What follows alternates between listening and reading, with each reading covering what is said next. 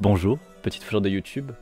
On se retrouve pour notre séance incroyable de lecture sur Lordon, ce grand penseur, bien sûr, des années 1600. C'est tellement adapté à un moment donné. Heureux Nils. Le présentateur de ma réunion n'a aucun charisme et mon TDAH prend le dessus au secours et il pleut. Oh, il y a du vent. Oh Le pire dans tout ça, c'est que j'apprécie le clavquin. Oui, mais ça sera encore mieux. Ce sera encore mieux avec du Lordon par-dessus. C'est la musique que j'utilise pour le personnage de Jean Mui sur mes lives. oui, Jean Mi, parfait, c'est nickel. Ah, moi je trouve ça bien, moi je trouve ça bien. Allez, nous sommes partis pour la lecture, nous nous rapprochons de la fin, nous y croyons. Comment créer un PTSD de Clavquin Je suis désolé.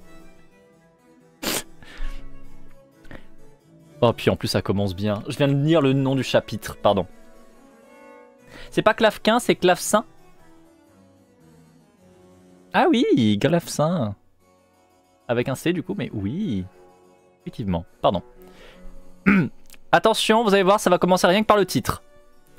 Conatus et passion dans les structures, les moteurs de l'histoire. Par Stéphane Bern. Non, pardon, attendez. Les conatus poussent dans les structures. C'est pourquoi le monde social historique ne peut jouir d'aucune stabilité. Ils poussent selon leur position, ceux qui le peuvent pour avoir davantage, les autres pour s'affranchir de la domination ou s'extraire d'une condition attristante. Voilà, à la fin des fins, le principe moteur de cette dynamique du monde humain qu'on appelle l'histoire. Pourquoi y a-t-il de l'histoire? Parce que les hommes n'en finissent pas de désirer. Je... Bon, évidemment, on notera toujours les hommes, hein. il n'y a que les hommes, les hommes, les hommes, et évidemment, comme évidemment tout le reste de leurs dons, c'est pas homme dans le sens les humains, hein. c'est pas avec un H majuscule. Hein. Voilà. Mais Bien sûr, leur don n'est pas du tout sexiste, n'est pas du tout réactionnaire, n'est pas du tout raciste, etc. N'oubliez pas que c'est une vue de l'esprit de votre part, parce que vous l'avez pas compris. Bien sûr. Ça devient une ambiance ASMR Renaissance. Ah là là. Ah là là.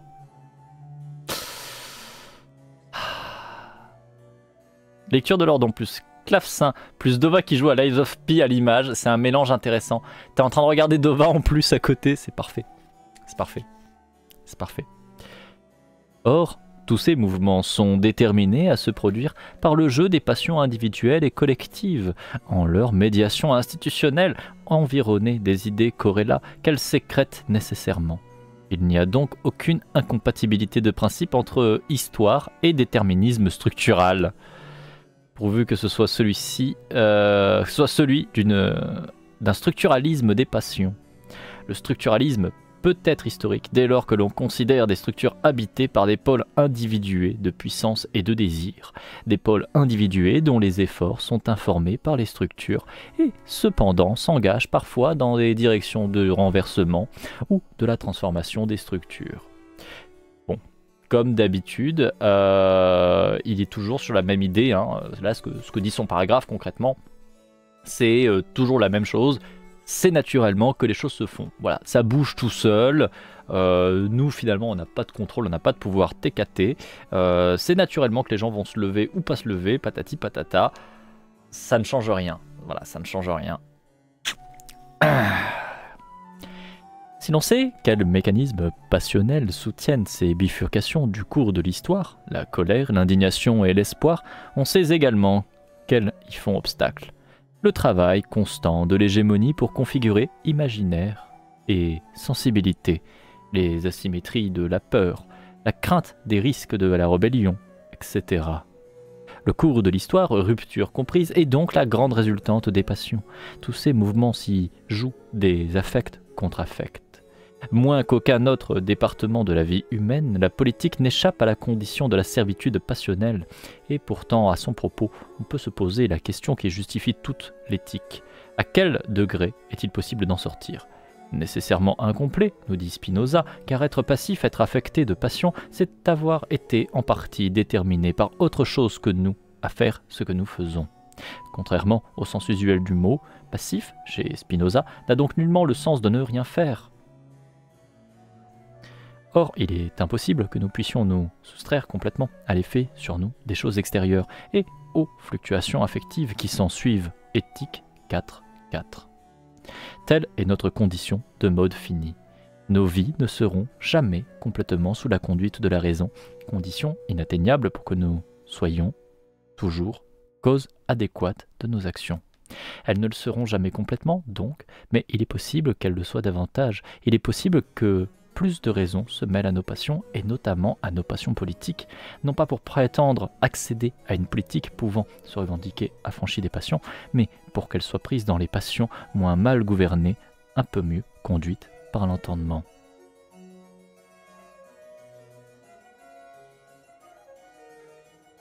Et bonjour au passage à Soso, j'espère que tu vas bien, aussi bien que possible. C'est dur. La fin du calvaire est loin. Euh, mais, voilà. Bon, qu'est-ce qu'il vient de nous raconter? En gros, il nous dit un petit peu ce qu'il nous a dit dans le reste du livre. Il nous fait un petit, euh, un petit résumé. Euh, il nous dit bah, Spinoza, il dit ça, donc c'est vrai. Et Spinoza, qu'est-ce qu'il dit? Il dit que bah, on est tous soumis à nos affects. Voilà, c'est nos émotions qui nous gouvernent, donc c'est compliqué. Mais on peut essayer d'utiliser un peu de rationalité en plus de nos affects. On peut essayer d'utiliser un peu notre cerveau en plus de nos émotions. Et c'est éclaté au sol. Pourquoi? Parce que pour toujours la même foutue raison, les cognitions ne sont pas sans émotion. Hein, c'est pas deux choses qui s'opposent, c'est pas deux choses séparées. Les affects et les réflexions, la logique, etc., vont de pair, vont ensemble, sont toujours allés de pair. Donc en fait, il n'est pas une question d'avoir plus ou moins de l'un de l'autre, ça n'a aucun sens. C'est complètement con. La moindre de vos réflexions logiques se base notamment sur vos affects. C'est comme ça que vous prenez des décisions. Et c'est normal, c'est le fonctionnement prévu hein, de votre cerveau. C'est faire la distinction d'un côté entre Jean-Michel gros cerveau et de l'autre côté Jean-Michel grosse émotion, c'est complètement éclaté. Mais encore une fois, partant d'un Lordon qui n'a comme seule référence que Spinoza, qui est un mec qui est cané depuis 4 siècles, est-ce que c'est étonnant de voir une vision du monde qui est un petit peu dépassée? Non. Non. Il lui manque juste 4 siècles globalement de, euh, de recherche euh, en sciences humaines et sociales, entre autres choses de recherche en euh, neuropsychologie, de, voilà, de, plein, de choses qui se sont faites depuis. C'est dommage quoi, 4 siècles, c'est pas grand chose, mais c'est beaucoup après avant. Quand est-ce que les gens rationalistes vont arrêter de considérer que la rationalité n'est pas liée aux émotions et de croire qu'on ne peut pas être rationnel et écouter ses émotions? Bah jamais en vrai. Hein. Euh, pour, pour, en gros, l'approche qu'il a, Lordon, c'est vraiment une approche qui est ultra compatible avec par exemple tout ce que vous retrouvez sur la zététique. Vous savez, ah oui, il y a les vraies sciences, les vraies sciences dures et tout qui sont bien, qui sont la rationalité, qui sont en dehors de tout ce qui est les. Euh, comment dire euh, tout, tout, ce qui est les billets émotionnels, patati patata. Alors que non, bien sûr que non. Bien évidemment que non. Quoi. 4 siècles, il s'est pas passé grand chose en vrai depuis le temps. Hein. Bah oui, non, non. Euh, franchement, on est toujours avec un roi et tout, TKT.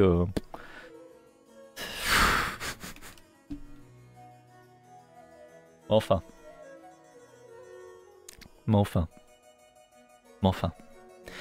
Nous reprenons, chapitre suivant. L'affectabilité des révoltes logiques. Bah oui, mais c'est pas déconnant Solaris du coup. Hein.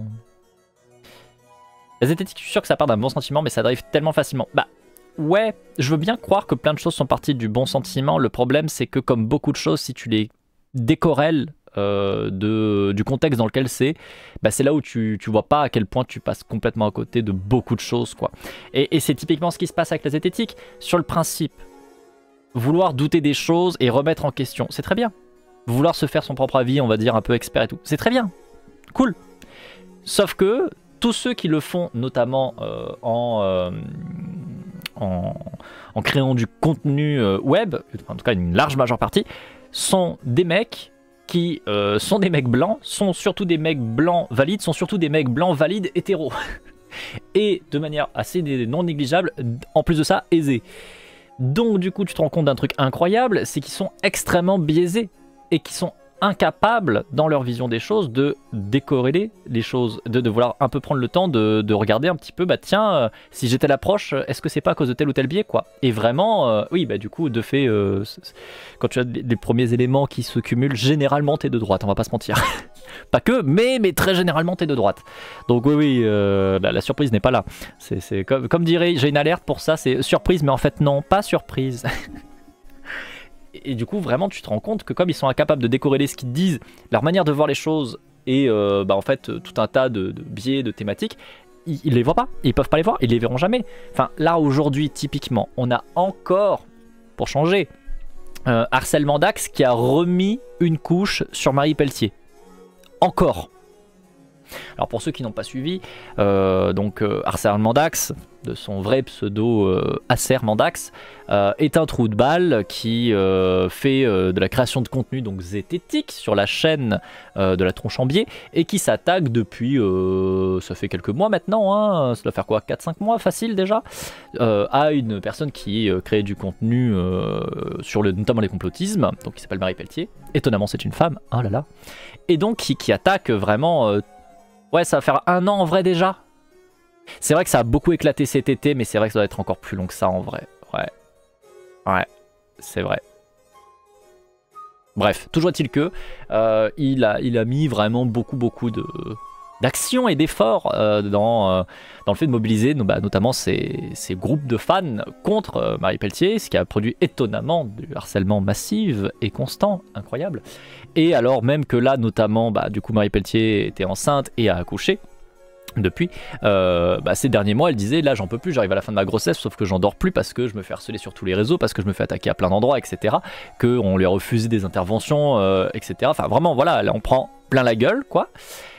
Et Osef, voire même pire que ça, ils en sont arrivés euh, pour ce qui est de harcèlement d'axe et euh, compagnie à dire oui non mais attendez, en fait elle utilise sa position de femme enceinte pour en fait jouer la victime.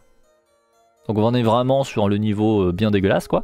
Et là il continue encore. Là il a remis encore une couche en repartageant encore la vidéo qui est ultra dégueulasse qu'il a fait du coup sur elle.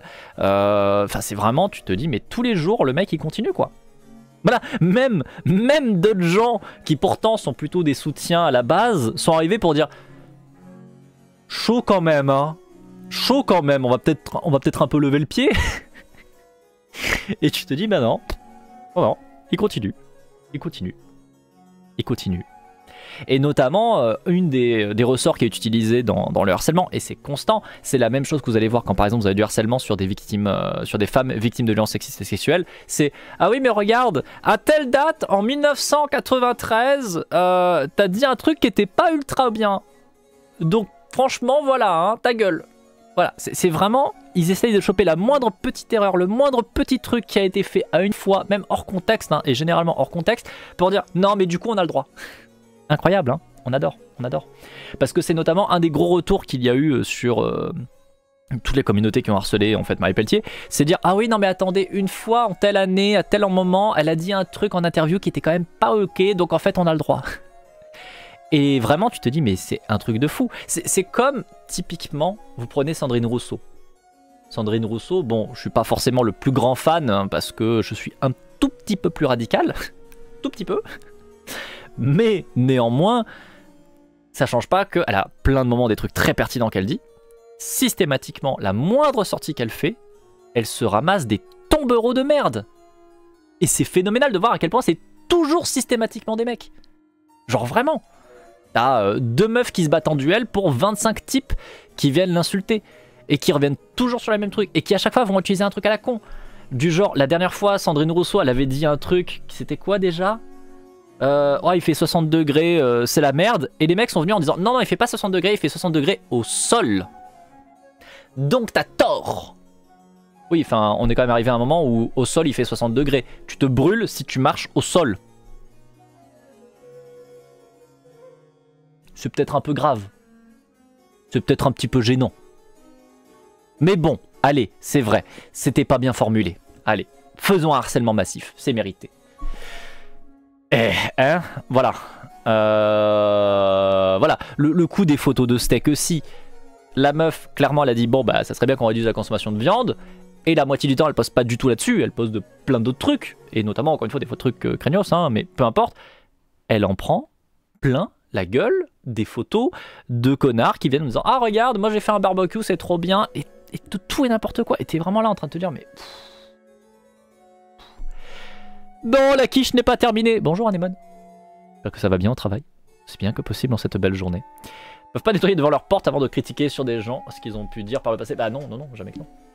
Euh, Sandrine Rousseau a dit des trucs bien merdiques récemment, notamment sur le génocide palestinien, si je me souviens bien. Ah ouais? Ah bah quel jour Quel jour oui, Lily, oui, oui, oui, euh, Nils, euh, je, valide de ressortir ces dossiers-là, typiquement, oui. Mais parce que c'est pas des, des dossiers, en fait, c'est que c'est constant, c'est toujours le cas. Euh, force et courage, merci. On est encore là, et encore là, on n'a même pas évoqué le compte parodique. Oui, non. Oui, oui, le compte d'extrême droite euh, qui ne sert que à harceler et, attaquer Sandrine Rousseau, ouais, ouais, ouais. Euh, vraiment. mhm. Bref. C'est pas parce qu'une personne a dit des trucs nuls que son harcèlement n'existe pas. Exactement, exactement. Euh, ces derniers jours, c'est vraiment dur de pas trop doom. Ouais, c'est compliqué, Soso. Hein. J'avoue que c'est un peu dur. Euh, ce qui est bien avec les harceleurs, c'est qu'ils se trompent jamais de combat. En tout cas, ils sont. C'est comme leur don. Ils sont constants dans la médiocrité. Ah, ça, ça, ça, ça rate pas. Hein. Constant, constant, constant. Hein. Ils dévient pas. Hein. Malgré tous les amants que tu peux leur apporter, ils vont pas dévier. Hein. Putain. Bref, pardon. Je refocus Fécus. Nous reprenons la lecture sur ce petit fond de clavequin. Des révoltes nécessaires, déterminées à éclater parce que la situation est sans appel intolérable et révoltante, au sens littéral du mot. Elle met les gens en état de révolte, qui n'est pas, comme nous avons pris l'habitude de le lire, un état d'âme sans suite, mais un mouvement concret. Évidemment, on revient toujours sur la même euh, idée de leur don. Les gens ne se révoltent pas avant qu'un certain palier soit dépassé parce qu'il y a des impératifs moraux, patati patata, et donc les gens ne se révoltent pas. Alors qu'en fait, encore une fois, on l'a dit et on l'a redit et on le re-redit, euh, les gens se révoltent. Par contre, tant que le rapport de force n'est pas suffisamment euh, renversé, euh, les révoltes sont réprimées, sont euh, complètement euh, détruites, attaquées de toutes parts, de la répression, etc. Ça sert à ça la prison, ça sert à ça la police, etc.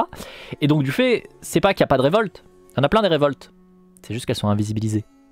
C'est pas la même chose. Pas du tout la même chose. Mais pour leurs dons, c'est juste que non, les gens se révoltent pas parce que les gens obéissent aux lois, les gens obéissent aux traditions, patati patata, et qu'il faut qu'il y ait un certain abus qui soit fait pour que d'un coup les gens se révoltent. Fatigue, fatigue, fatigue. Mais bon. D'ailleurs, euh, je me permets au passage, je vais refaire un petit shootout au passage aussi. Euh, si jamais vous êtes intéressé par tout ce qui est euh, le travail sur l'anticarcéralisme, sur la police, etc., vous avez notre camarade anti-P qui est, hop, si j'écris bien, c'est mieux en général. Voilà. Qui a fait pas mal euh, de live dessus, qui fait pas mal de lectures dessus, euh, qui travaille beaucoup de questions évidemment par rapport au féminisme, et donc je ne peux que vous recommander d'aller mettre un petit follow si vous n'avez pas déjà fait, bien évidemment. Euh, et bonjour John, j'espère que tu vas bien, tu te portes bien. Réprimer et invisibiliser. Oui. Et ça sert à ça, effectivement, la concentration des médias. C'est très utile pour les gens qui, effectivement, sont au pouvoir et peuvent continuer, du coup, d'utiliser tous ces moyens pour continuer d'invisibiliser et de réprimer tranquillou. Bref, on reprend.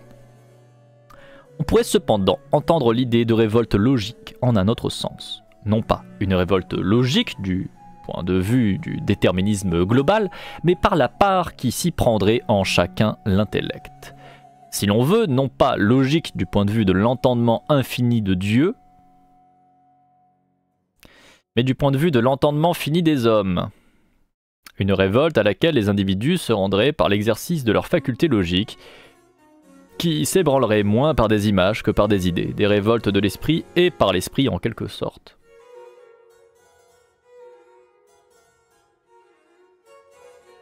Oui, on vit dans la pire timeline. Il y a 36 000 raisons de faire des ré- révoltes et révolutions. Ferme-la, Lordon. Ah ouais, hein. ah ouais. hein. Ouais. Ouais, d'ailleurs, attendez. J'ai un truc pour vous qui va vous faire plaisir, qui va vous plaisir normalement. Hop, je vais venir ici. Et Il a dit quoi? Voilà. Je me suis permise quand même. Je reprends. Donc petit point Dieu aussi, hein, voilà, on, on aime bien. Il suffit sans doute d'avoir usé de ces formules pour que le porte-à-faux soit constitué. Révolte de l'esprit. Ces mots ne veulent rien dire rigoureusement parlant dans les coordonnées du spinozisme. Il n'y a que des affections du corps qui le déterminent à tel ou tel mouvement. Et simultanément, l'esprit a formé les idées de ces affections. Oh, oui, bah. Oh Encore une fois, il revient sur la même idée. Toujours pareil.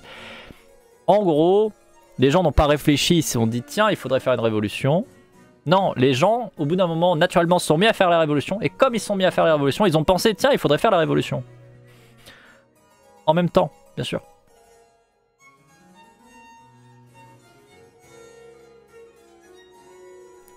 Bref.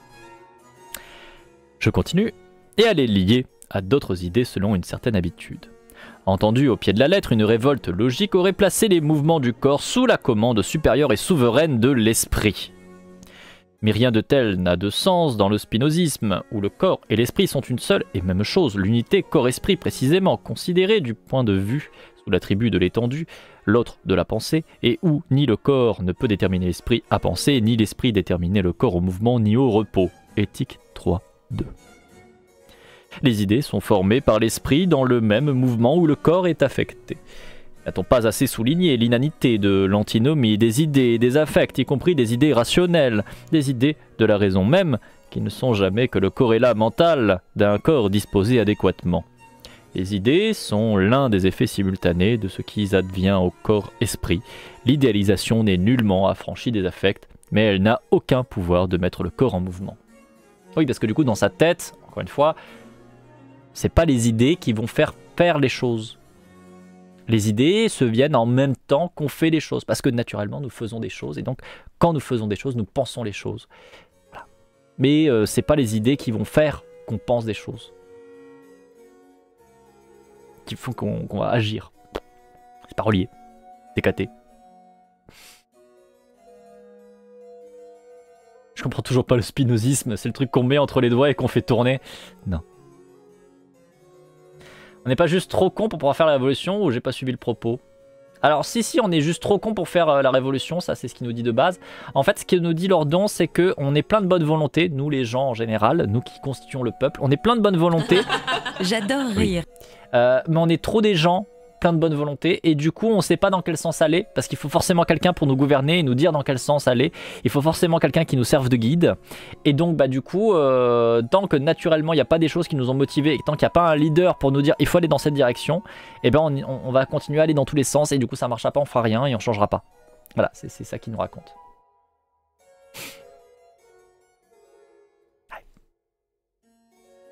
Et donc bah là, il nous dit, euh, voilà, si, si, si un certain palier n'est pas passé, les gens se révoltent pas et ils attendent. Très bien. Soit. On est des poulets sans tête. Bah c'est un peu ça, ouais. C'est un petit peu ça. C'est un petit peu la vision de Lordon, ouais. Lordon, je vais l'appeler Docteur Doom à un moment. Ou sinon, on l'appelle ce qu'il est, Salétron. Lord des troncs, voilà. Dis-moi que tu n'aimes pas l'anarchisme sans me dire que tu n'aimes pas l'anarchisme. Ah bah ouais, hein. on le sait que Lordon il supporte pas les anars. Hein. Il, nous a dans le pif. Hein. Ouais, Lord des troncs c'est bien, non? Ouais, c'est classiste un peu. C'est vrai que du coup ça lui laisse la position de Lord et tout, non? Oh, le salétron, c'est le mégatron le tornien. Parfait, parfait. Allez, je reprends. Il faut donc plaider l'abus de langage et avouer qu'on a sacrifié la rigueur à la poésie, et pour suggérer quelque chose. Si révolte logique ne veut pas, ne peut pas dire une révolte hors corps et hors affect, conduite comme par la raison pure, elle peut vouloir dire une révolte qui a moins besoin du spectacle des choses mêmes, une révolte à qui suffit l'idée de ces choses, en fait leur imagination, et qui n'a pas besoin de les avoir sous les yeux pour se trouver déterminée. Une révolte logique peut se contenter de lecture, d'enquête, d'analyse pour se mettre en mouvement. Des vérités de papier lui suffisent. Bien sûr, les signes lus ou les phonèmes entendus à propos des choses sont eux aussi des affections du corps, mais infiniment moins puissantes que les choses absentes à notre corps dont il parle. Lire sur les conditions de travail de nos biens de consommation ou être confronté physiquement à ces conditions, lire à propos des violences policières ou assister physiquement à la commission de la violence, c'est loin d'être un tout. Par révolte logique, on peut alors entendre le comblement de cet écart, le développement d'une affectabilité qui empuissantise les signes comme vicaires des choses pour les faire tendre vers l'égalité des faits avec les choses. Oui, en gros, il aurait pu dire discours, hein, mais non, il faut qu'il fasse un peu pompeux, hein, comme d'hab. Euh, bon, du coup, qu'est-ce qu'il nous dit là concrètement? Il nous dit, bah, en fait, on se rend compte que euh, l'esprit par lui-même ne peut pas faire grand-chose. Il lui faut des choses qui vont motiver le corps, et c'est qu'une fois que le corps est motivé, donc que l'esprit euh, va s'aligner. Allez, admettons. Et donc, du coup, euh, bah, tu peux lire des choses, tu peux voir euh, par un reportage ou ce que tu veux des choses et te dire, Hum, c'est pas bien, mais ça ne sera jamais la même chose que si tu les avais vécues directement. Oui. En effet. Et donc Et en vrai, le problème, c'est que avec son approche, moi, je vois bien le délire du, en gros, ça explique et ça justifie pourquoi est-ce qu'il y a plein de gens qui bougent pas bah, c'est parce qu'ils le voient pas, ils le vivent pas en fait. Donc bah du coup ils bougent pas.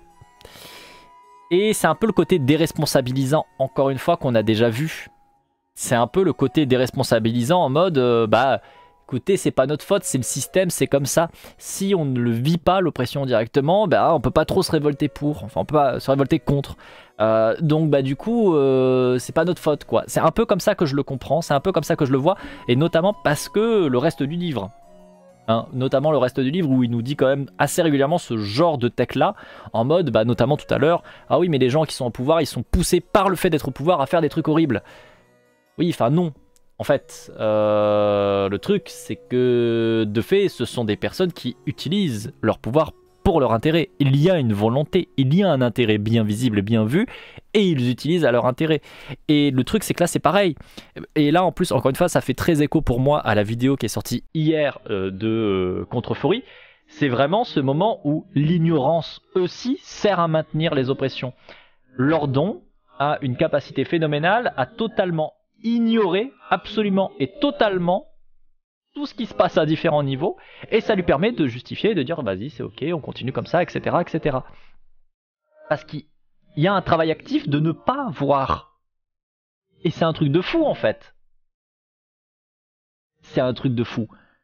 Genre vraiment, ça lui permet de justifier que bah non, on peut rien faire, c'est comme ça, c'est la nature. Ah non en fait. Non non. non non. Bref, je comprends. Il s'agit donc d'une affectabilité qu'on pourrait dire intellectuelle, une affectabilité parcimonieuse qui a moins besoin des choses même et peut se trouver activée par la simple idée des choses, en réalité par leur imagination, induite par des signes et comme toujours accompagnée par des corrélats idéels au sens rigoureux du terme, simultanément produits dans et par l'esprit. Car cette affectabilité particulière où les révoltes logiques trouvent leur principe est finalement celle de la vivacité d'imagination. Être disposé aux révoltes logiques, c'est être capable de convoquer en soi des images vives des choses absentes et de les rappeler à soi par la liaison avec d'autres images vues. Mais pauvres, les images, des signes, des mots écrits, de nouveau, notre romain qui lit les graphèmes ou les phonèmes de ponum avec l'image de la pomme, lire, voir, écrit, violence policière et se sentir comme si on y était, c'est cela l'affectibilité particulière des révoltes logiques. Et il revient sur le même truc, again. Comme l'idée en elle-même ne peut pas pouvoir te faire bouger, il faut que tu aies accès à quelque chose qui est inscrit dans le physique. L'imagination est pour lui inscrite dans le physique. Donc si tu imagines les violences policières, tu sais ce que c'est les violences policières, tu as vécu les violences policières, et c'est bon, tu peux agir. Non frère. C'est comme pour le racisme que tu avais déjà utilisé, hein, c'est la même carte que tout à l'heure. C'est pas parce que t'as imaginé que tu subissais le racisme que tu sais ce que c'est que le racisme. Tu ne vis pas le racisme. De fait.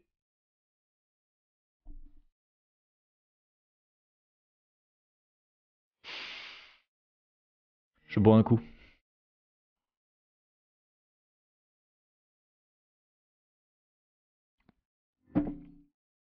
Je vais rage quitte. Bah ouais, hein.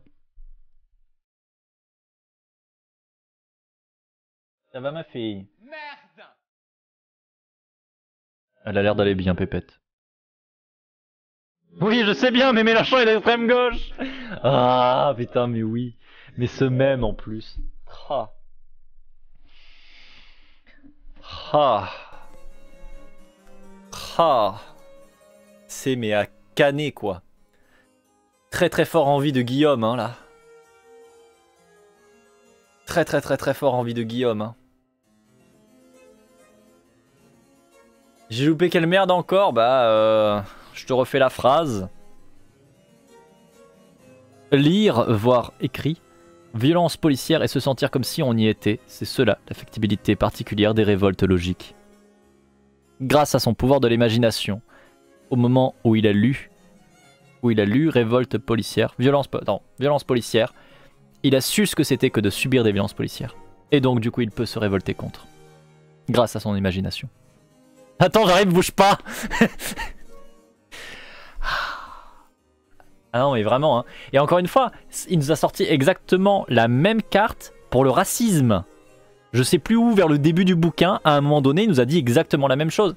Il m'a dit Je peux me révolter contre le racisme parce que, grâce à mon imagination, j'ai pu imaginer ce que je subirais si j'étais euh, en train de subir du racisme. Et donc, du coup, je peux savoir ce que c'est ce que vit quelqu'un qui subit le racisme. Je sais ce que c'est. Donc je peux parler à leur place et donc je peux me révolter aussi. Et t'es en mode bah non en fait. Oui. Est-ce que là il peut imaginer moi en train de lui défoncer les genoux?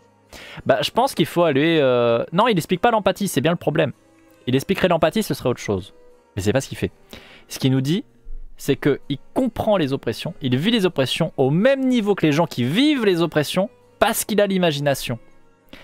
C'est ça le problème. Et c'est pour ça que ça pose problème. Il nous dit textuellement que, notamment, il nous faut un leader. Enfin, lui, il dit pas un leader d'ailleurs. Lui, il dit qu'il nous faut un euh, gouvernant. Pour être tout à fait précis, le terme qu'il a utilisé, c'était un gouvernant.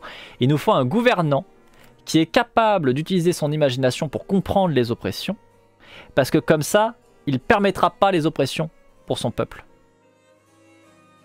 Mais sauf qu'on ne parle pas d'empathie. On parle bien du fait de être au même niveau que quelqu'un qui subit une oppression. Or, non, c'est pas avec ta grosse imagination que tu vas réussir à faire ça, quoi. Oui, oui, il voudrait un monarque éclairé.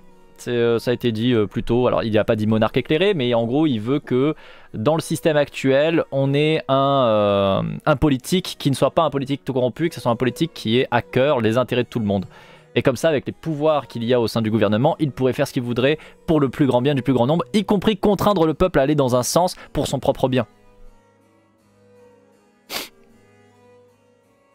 Non, non, mange pas ça comme un genre de royaliste, je suis désolée, mais là ça va te foutre une indigestion, bordel de merde. Là c'est même pas un royaliste, là c'est une grosse merde. Ouais, c'est. C'est craignos. J'avoue que c'est très très très très très très très craignos. C'est littéralement réduire la question des oppressions à un syllogisme. Bah ouais. Oui, oui. Genre, euh, enfin, vraiment, tu te dis euh, non, quoi. Non. Ça me rappelle la fois où un mec cis blanc, étonnamment, je sais, m'a dit Je suis gaucher, il y a plein de choses qui sont conçues en pensant aux droitiers et droitières. En fait, j'ai un aperçu de ce que c'est de faire partie d'une minorité. Euh, alors, j'aurais plusieurs choses à dire à ce sujet. Ça aurait été il y a deux siècles, vu les oppressions qu'on mettait sur les gauchers, sans déconner. Ouais. J'aurais pu dire, oh, peut-être. Voilà, peut-être, ouais. Aujourd'hui, je serais plus en mode, euh, bah, bah, bah, écoute, il m'appelle à des, à des ciseaux pour gaucher. Euh, oui, voilà.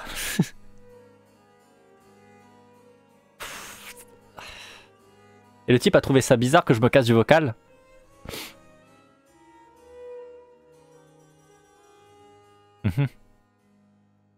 Oui, alors il y, a eu une. Alors, pour, reprendre le côté historique, il y a eu en effet une sacrée oppression sur les gauchers, euh, à tel point en fait qu'on force. Alors, il me semble que si je me cours pas, ça vient aussi pas mal de la façon dont le cerveau est, câblé, mais il y a quand même eu euh, une sacrée oppression sur les gauchers, notamment pour les petits enfants euh, gauchers, notamment lors de l'apprentissage de l'écriture et même un petit peu après, on attachait leur main gauche dans le dos pour les forcer à écrire de la main droite. Et bien sûr, euh, on les fustigeait si c'était pas exactement comme on voulait que ce soit écrit et tout le bordel. Donc il y a eu en effet une oppression sur les gauchers. Euh, aujourd'hui. Vas-y. Euh, non. Non, non, aujourd'hui, ça, ça, tient plus, ça ne tient plus, ça ne marche pas, faut arrêter. Euh, pour, la, blague, un truc qui est rigolo, il y a des études qui ont été faites justement euh, au niveau, euh, on a posé des récepteurs sur le crâne pour savoir justement, bah, en gros, structurellement ton cerveau, est-ce qu'il est fait pour être gaucher droité? Parce qu'il y a des signaux électriques qui montrent en fait quel hémisphère est dominant, etc. Enfin bref, je vais pas rentrer dans les détails. Ce qui est marrant avec l'espèce humaine, toutes les espèces, quelles qu'elles soient, globalement il y a 50-50. C'est-à-dire que vous prenez des chats, sachez qu'il y a des chats gauchers, il y a des chats droitiers. Même répartition. 50-50 globalement pour tous les animaux. Pour les humains, c'est là où c'est rigolo. Du point de vue des analyses cérébrales, c'est 50-50. Par contre, du point de vue de ce qui est exprimé, autrement dit du comportement, c'est 70-30. 70 droitiers, 30 euh, gauchers. Pourquoi? Parce que, notamment parce que vient d'expliquer notre cher camarade Glitch, et qui est structurellement toujours on met plutôt en avant euh, les droitiers parce que le bagage historique ne part pas comme ça en deux, jours, hein, clairement pas. Et donc du coup, il y a des pressions euh, sociales relativement légères qui font qu'on est poussé à continuer à euh, plutôt utiliser la main droite. Mais on peut pas parler d'oppression. Enfin, ça n'a genre rien de comparable avec ce que peuvent vivre des, je des, personnes racisées, ou des meufs dans nos sociétés, ou des personnes LGBT, ou des personnes trans, ou je ne sais quoi d'autre, quoi. Enfin, genre voilà, quoi. Quand même deux poids, deux mesures s'il vous plaît. Et, je me permets d'ailleurs de, comment dire, de rebondir sur le fait qu'il y ait des chats euh, gauchers droitiers. Parce que du coup, l'histoire me fait, me, fait, assez rigoler. En fait, j'imagine vraiment, tu vois un chat qui essaie de faire tomber un verre ou une tasse avec la patte gauche. Et là, tu vois des chats qui le regardent en mode Non, c'est de la patte droite On va attacher ta patte dans ton dos Euh, faites pas ça. Ouais. Non, on va, on va éviter. Hein. On va éviter. On va éviter. Mon père, dans les années 50, on lui faisait apprendre à écrire de la main droite encore. Quel enfer. bonjour, Asa. En, en vrai, c'est. En vrai, en, vrai, les, comment dire, mine de rien, les, mauvais traitements, la véritable maltraitance en fait qui, qui, a, qui, a, pu avoir encore envers les personnes gauchères, elle est pas, elle, elle est pas, elle est pas abolie depuis très très longtemps. En vrai, oui, il y a, euh, de manière générale, de toute façon même, enfin, quand on voit déjà le système scolaire déjà du temps de nos, parents boomers, c'était pas, c'était pas fifou et tout le bordel. Les châtiments corporels étaient encore euh, légion, à ce moment-là. Et oui, en effet, je grossis le trait en disant il y a 200 ans, un truc comme ça. On dit pas qu'en effet, pour les gauchistes, c'est vraiment passé des trucs aussi atroces. Euh, sous des prétextes éclatés au sol, mais comme, bien les voix, j'ai envie de dire. mais, euh, que, mais que dans tous les cas, ça ne reste pas comparable, même si on a coutume de dire on ne fait pas hiérarchie des oppressions. Mais ça ne reste en effet pas comparable du tout à, euh, au, racisme, au sexisme et tout le bordel. C'est juste une, énorme déviance. Euh, euh, coucou les violences éducationnelles, éducatives. Voilà quoi. Et si je reprenais la lecture pour essayer de finir cette merde On est page 167 les gens. On s'en rapproche. 23 pages. 23 pages. C'est un monde, Résu. Non. C'est plus une discrimination qu'une oppression, je dirais. Bah euh, oui, oui, ça me semblerait cohérent. Oui. Bah, je pense qu'à peu près du même acabit qu'on fait de la discrimination envers les enfants en ne les considérant pas comme des personnes à part entière, mais comme des jouets, des extensions. Hmm. Bon, je reprends sur euh, notre cher Lordon qui nous disait Grâce à mon gros cerveau et mon imagination, je comprends le racisme, je comprends ce que c'est que de vivre des violences policières, patati patata. Et eh ben ça y est, j'ai vomi. Ouais, bah lui il a fait prout apparemment. Nouveau chapitre. Attention, préparez-vous pour le titre. Le point de vue intellectuel entre grotesque et universel. moi je pensais qu'on allait faire un jeu du titre parce que là clairement j'ai toute ma libido qui vient de faire le bruit de fermeture de Windows 98. Ah ouais. C'est Vista qui vient de planter encore. J'ai actuellement un, blue screen of death dans les yeux, c'est génial. Euh, bon. On reprend du coup. Ouais, je vais aller sur Hades, hein Bon, Hades, Asa Bon, Hades, Asa on sait parfaitement que cette disposition n'a rien d'universellement partagé. Être affecté par des idées de choses à égalité avec les choses mêmes est le propre d'une sensibilité aux idées qui est la sensibilité intellectuelle même. Quoi? Attends. Donc là, il te dit en gros, bon, il y a des gens qui sont capables juste avec leurs idées, avec leurs euh, imaginations, de, savoir ce que c'est que de le vivre, et d'autres non. Il y a des gens qui ont un gros cerveau qui en sont capables, et d'autres, bah, il y en a qui peuvent pas. Bref. Bref. Bref. Pourquoi je m'inflige ça? Parce qu'il faut bien un peu débunk cette espèce de sombre merde qui est mis partout en avant tout le temps. Voilà. Puis au moins ça me donne de quoi euh, un petit peu créer du contenu, on va dire. Je reprends. Comme toutes les sensibilités, la sensibilité intellectuelle, l'ingenium intellectuel, doit sa formation à un certain type de trajectoire, à une certaine éducation. Oh putain, il va venir. Oh, je vois où il va nous. Il va nous dire en gros. Eh ben oui, si t'es mieux formé, si t'as une meilleure éducation, euh, si t'as plus de diplômes, patati patata, bah ça, ça montre que tu, tu, tu es, tu es plus intelligent en fait. Vous le savez, Oh no, vous le savez, no. Oh no. c'est obligé que ça va être ça. J'ai pas fini la phrase, je me suis arrêté en plein milieu, j'ai craqué. Mais euh, attendez, on, on s'y remet.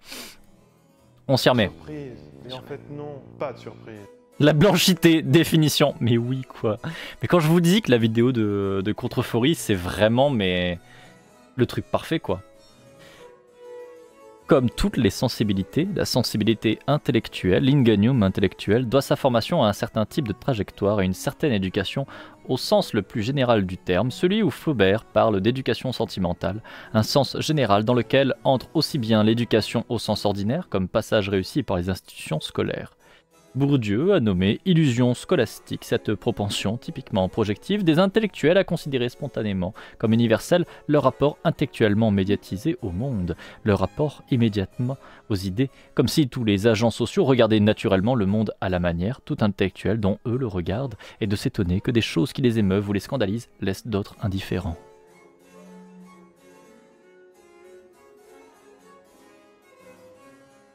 C'est con encore une fois qu'il cite Bourdieu pour mal le citer? C'est dommage.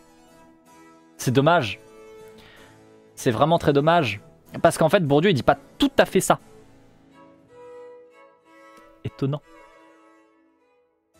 Bourdieu, ce qu'il dit, c'est que l'illusion scolastique, le fait que les intellectuels, effectivement, ne comprennent pas pourquoi plein d'autres gens qui ne sont pas issus du cadre intellectuel comprennent le monde comme eux, etc.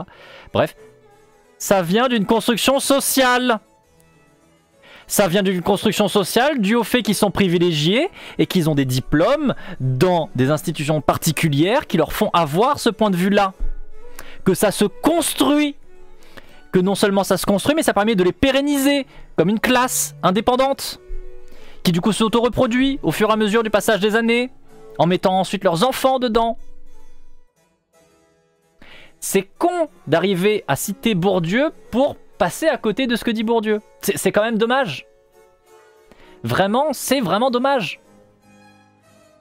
C'est incroyable. À chaque fois que je le vois, dites-vous que bah, l'idée que j'ai de, de Lordon, c'est qu'à chaque fois qu'il cite Bourdieu, pour moi, ou n'importe quel auteur, hein, pour moi, c'est le moment où vous voyez, il a le GPS qui lui dit tournez à droite pour aller dans telle direction. Et du coup, il dit ah tiens, c'est telle direction pour aller là-bas. Et il prend à gauche.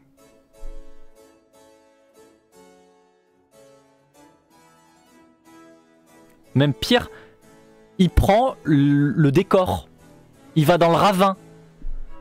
Et il te dit non, mais le GPS il a dit que c'était par là, donc je suis forcément arrivé au bon endroit. Après, est-ce que Lordon tente de prendre les raccourcis comme Mario Kart? Pense au micro, je suis désolé. Mais non, non, t'inquiète, t'inquiète, non, non, je, je- vais juste me déplacer, je, je vais quitter mon téléphone portable pour aller sur le PC pour euh, pouvoir euh, enjoy cette petite euh, engueulade euh, fortuite. Et en fait, je, je- je me dis, je me dis que dans ce cas, je vais faire un petit RP Lordon, tu vois, je me dis, ah, je vais me mettre dans l'ambiance. tu vaux tellement plus que Lordon. C'est pas très dur en même temps. Oui, non, c'est pas très dur, mais euh, néanmoins, quand même. ASMR Frio, ouais. On ne s'apaise pas. On ne s'apaise pas, ouais. On ne s'apaise pas. Et je suis désolé hein, pour le micro, à chaque fois, je j'avoue qu'il me fait monter en tension et que je n'y pense pas. Mais non, mais t'inquiète, t'inquiète, je change juste de Néanmoins, c'est vrai. comme ça, moi. C'est glitch. Après, si tu pouvais arrêter de ton nez. Quoi? T'arrêtes pas de dire néanmoins, donc. Euh. Euh, Ah, Gli- c'est bon, tu, tu peux citer même là régulièrement, ça va. Hein. Je confonds tout le temps Lordon et Frion, c'est grave. Non, je dirais que il y a des trucs qui sont pas exceptionnels sur Frio, mais il est quand même un cran au-dessus, en vrai. Euh, Non mais c'est bien, c'est un bon indicateur si t'es trop énervé. Oui, c'est vrai. Euh, Lordon, on est vraiment sur la, sur la, la grosse, grosse médiocrité euh, de l'enfer. Euh, Lordon, en fait, c'est celui qui te dit tout le temps que euh, les anarchistes, c'est nul. Parce que les anarchistes, c'est des rêveurs et des rêveuses et qui sont complètement cons. Voilà. Alors que Frio, il va te dire, il y a plein de manières de faire, j'aime pas Roussel, c'est de la merde, et il essaye. bon, des fois, il dit des trucs un peu pourris, mais il essaye, Frio. Vous voyez, il, a une tentative dans Frio. Vraiment. Je, peux critiquer des choses sur Frio, mais déjà, il est fois plus, dix fois plus accessible. Ça, rien que ça, déjà. Frio, quand il te dit, j'essaye de te faire comprendre un truc, il va voir quel que toi t'es capable de comprendre et essayer d'utiliser des mots qui vont être accessibles. Vous voyez? Non mais voilà, c'est pas non plus exceptionnel, encore une fois, il y a plein de choses à critiquer. Euh, alors que vraiment, Lordon, il va te dire, je vais essayer de te parler et je vais essayer de te faire comprendre. Et si tu comprends pas, il te dit, ah t'es vraiment trop con. Franchement, fais un effort quoi. voilà, ça c'est la différence. Et en vrai, je peux vous montrer euh, sa tête. Normalement, vous allez reconnaître tout de suite qui est qui. Euh, t'as- vraiment pu te faire ça, enfin je veux dire, euh, les âmes sensibles, tout ça quoi. Tra, puis en plus, je vous ai trouvé une image. Euh, hop, copier l'adresse de l'image. Hop, hop. Attention, ça, ça va faire peur. Et sous vos yeux ébahis. Paf. Ça, c'est leur don. Et bah, j'ai Je crois que ton micro a coupé en disant bah non, non, non. Et Frio, du coup, comme on dit, c'est le vieux. Hop. Ça, c'est Lordon. Le seigneur des fions. C'est lui. Voilà. Et ça, c'est Frio. Alors, moi, Frio, ce qui est rigolo, c'est qu'il me fait un peu penser à Bernie Sanders des fois. Ah, mais la version Evil de Benny- Bernie Sanders. Berneville Sanders. Et oui, euh, je, je, je, je, je concède à Loukoum quand même que, que Lord Fion a un petit air de Stéphane Bern et que bizarrement, je l'imagine parfaitement euh, oui. lire avec un peu la voix de Stéphane Bern. Et du coup, ça me. oui. Du coup, j'imagine en fait un, ton giga ampoulé qui au départ me fait un peu rire parce que saga. Mais, euh, mais sur le coup, en fait, quand j'entends le, le comment dire le, le texte, je suis plutôt en mode sagave. Ah oui, ça gave, oui, ça gave fort. Ça gave très très fort. Euh, Bon, je je vais être gentil, je vais vous enlever cette vision de l'horreur quand même. C'est donc là que vient son côté royaliste. Non, il n'est pas royaliste, il a dit qu'il y avait juste besoin d'un gouvernant pour notre propre bien. Parce qu'on est trop con. Donc c'est pas un royaliste. Non, parce que c'est un gouvernement et c'est quelqu'un d'élu. voyez Stéphane Bern euh, cross euh, Orelsan, c'est bien. Ah ouais, non mais c'est... Pardon. C'est vraiment... euh, C'est c'est incroyable. C'est... c'est- Il est, il est 13h12 en Angleterre, il est vrai, merci Nils. Enfin là, du coup, pour moi, il est 14h13, donc du coup, maintenant, il est 13h12 en Angleterre, mais, euh, mais voilà. Chut. Accepte qu'il soit 13h12 quelque part. J'accepte, j'accepte. J'accepte en mon cœur. Bonjour, Amki. J'espère que tu vas bien. Andy. Hâte de le voir dans un téléfilm tuer quelqu'un avec un drone. oh bordel. Oh bordel, ces trucs cursed. Oh, je vais vous raconter une histoire. euh, ça va vous faire rigoler. Il y a quelques temps, c'était quoi Il y a bien six mois maintenant. euh, je comprends pas pourquoi il y a la moitié du centre-ville de ma ville qui est totalement bloquée. Et quand je me connecte le soir sur Facebook, je me rends compte d'un truc. La moitié des religieux du coin étaient trop heureux, donc c'est-à-dire à peu près la moitié de la ville, euh, parce qu'il y avait quelqu'un de très important de très très très important qui est venu donc à Saint-Maximin la Sainte-Baume, hein, donc ma ville, pour venir visiter donc la, basilique de Saint-Maximin la Sainte-Baume avec donc la tête de Marie-Madeleine dedans.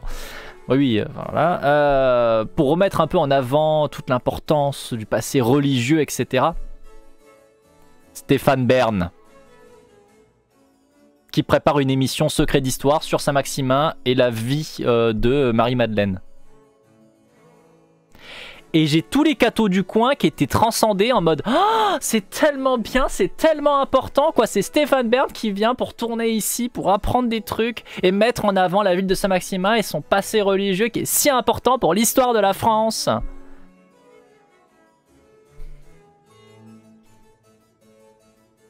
Mais c'est pas le summum du truc, hein. C'est pas le summum du truc. Quelques jours après, il y a eu une autre annonce. J'avoue qu'à ce moment-là, j'avais pété de rire. J'en avais parlé en live tellement j'étais pété de rire. Il y a Stéphane Bern et le maire de ma ville qui sont allés en interview radio avec, c'est quoi, c'est Radio Chrétienté?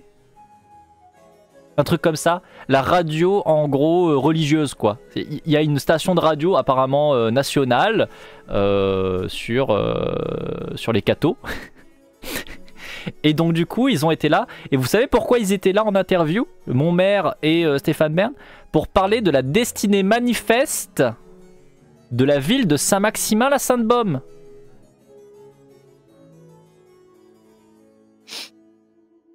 Alors le maire qui comprend pas le mot laïque, sachez que mon maire, c'est la première fois que j'ai vu ça, mon maire a à un moment donné abandonné son poste de maire pendant trois semaines pour la raison suivante. C'est vraiment la raison officielle qui est donnée sur le papier qui disait que c'était euh, le, euh, le suppléant qui, qui remplissait office pendant trois semaines. Pour raison de pèlerinage à Saint-Jacques de Compostelle. C'est vrai, je vous jure que c'est vrai. Je n'avais jamais vu ça. Je ne savais même pas que tu pouvais officiellement, sur des papiers officiels en tant que maire, dire je suis pas là pendant trois semaines parce que je vais à Saint-Jacques-de-Compostelle en pèlerinage. Genre, À la rigueur, euh, frère, tu prends des vacances et ça s'arrête là, quoi. non mais voilà. Je. Je. je- voilà, bienvenue à Saint-Maximin la Sainte-Baume. Euh, c'est. C'est maire de droite. Euh, pardon, euh, c'est pas un maire de droite, il a dit il est sans étiquette. Avec que des gens de droite. Mais il est donc sans étiquette. Bien sûr. Euh, un autre élément, si vous ne connaissez pas Saint-Maximin la Sainte-Baume, vous allez voir aussi un truc qui est très rigolo. Hop. Vous, vous allez bien apprécier un tout petit visuel. Ça se voit très rapidement quand vous venez dans ma ville. C'est. Hop.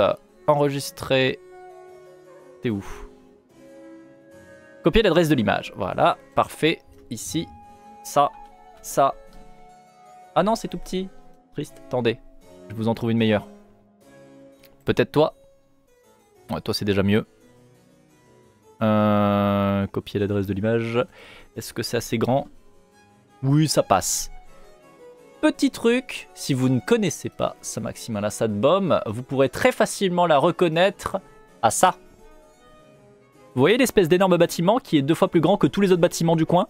C'est la basilique de Saint-Maximin. Nonobstant, ça a pas l'air moche. Non, c'est pas si moche que ça. hein. Oui, le président de l'université de Strasbourg qui est un prêtre. Oui, oui. Oui, oui. En effet. Voilà. Donc là, c'est pas le meilleur angle parce qu'on a un peu euh, un angle qui est de côté, donc t'as l'impression que finalement les bâtiments ça va, mais en fait euh, c'est un énorme truc. Hein. C'est- joli, non, il y a pas de souci, c'est joli. C'est l'énorme bâtiment. Bah ça là, ça là, vous la voyez parfaitement là. Les touristes qui auraient compris. Ah non, mais c'est joli. Non, mais c'est pas le propos, putain C'est oui. Euh, Enfin, vraiment, quand tu vois le bâtiment, enfin, ça, ça, typiquement, ça, c'est une place que je connais, qui est pas super loin de là où j'habite. Euh, voilà. On, est légèrement placé, on va dire. Euh, ça, se sent qu'ici, on a une population qui est très, très, très, très, très, très, très, très catho. Euh, pour, pour la blague, on a fait des, des relevés. Vous savez qu'en France, à peu près, je crois, c'est 10% de la population, 10 à 20% de la population est euh, pratiquant euh, catho. Ou en tout cas, euh, non, pas pratiquant, qui est catho. Et il n'y a pas forcément que des pratiquants, je crois. Je sais plus exactement les chiffres, mais en gros, c'est dans ces, dans ces idées-là. Sur la ville, on a fait un relevé il y a quelques années. Il y a 50% des habitants qui se déclarent cathos. C'est-à-dire qu'on on fait plus que le double de la moyenne nationale.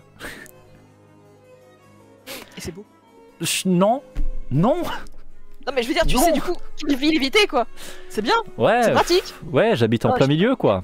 Quand je dis c'est beau, je parle pas forcément de l'esthétique, je parle du fait que du coup ça a un, un sens pratique. Je sais plus si c'était Socrate ou Platon qui disait oui, mais du coup la beauté ça peut être aussi simplement que euh, le comment dire, la fonction soit bien soit bien remplie. Et bah écoute, là c'est le cas, comme ça on sait que dès qu'on voit le, le village, hop, on esquive.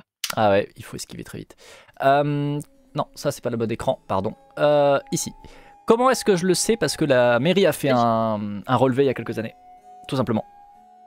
Euh, donc euh, pour le coup, ils avaient publié ça sur leur site, euh, etc. Ils en avaient parlé il y a... Avant Covid. C'était avant Covid, pour le coup. Je saurais plus vous dire quand exactement.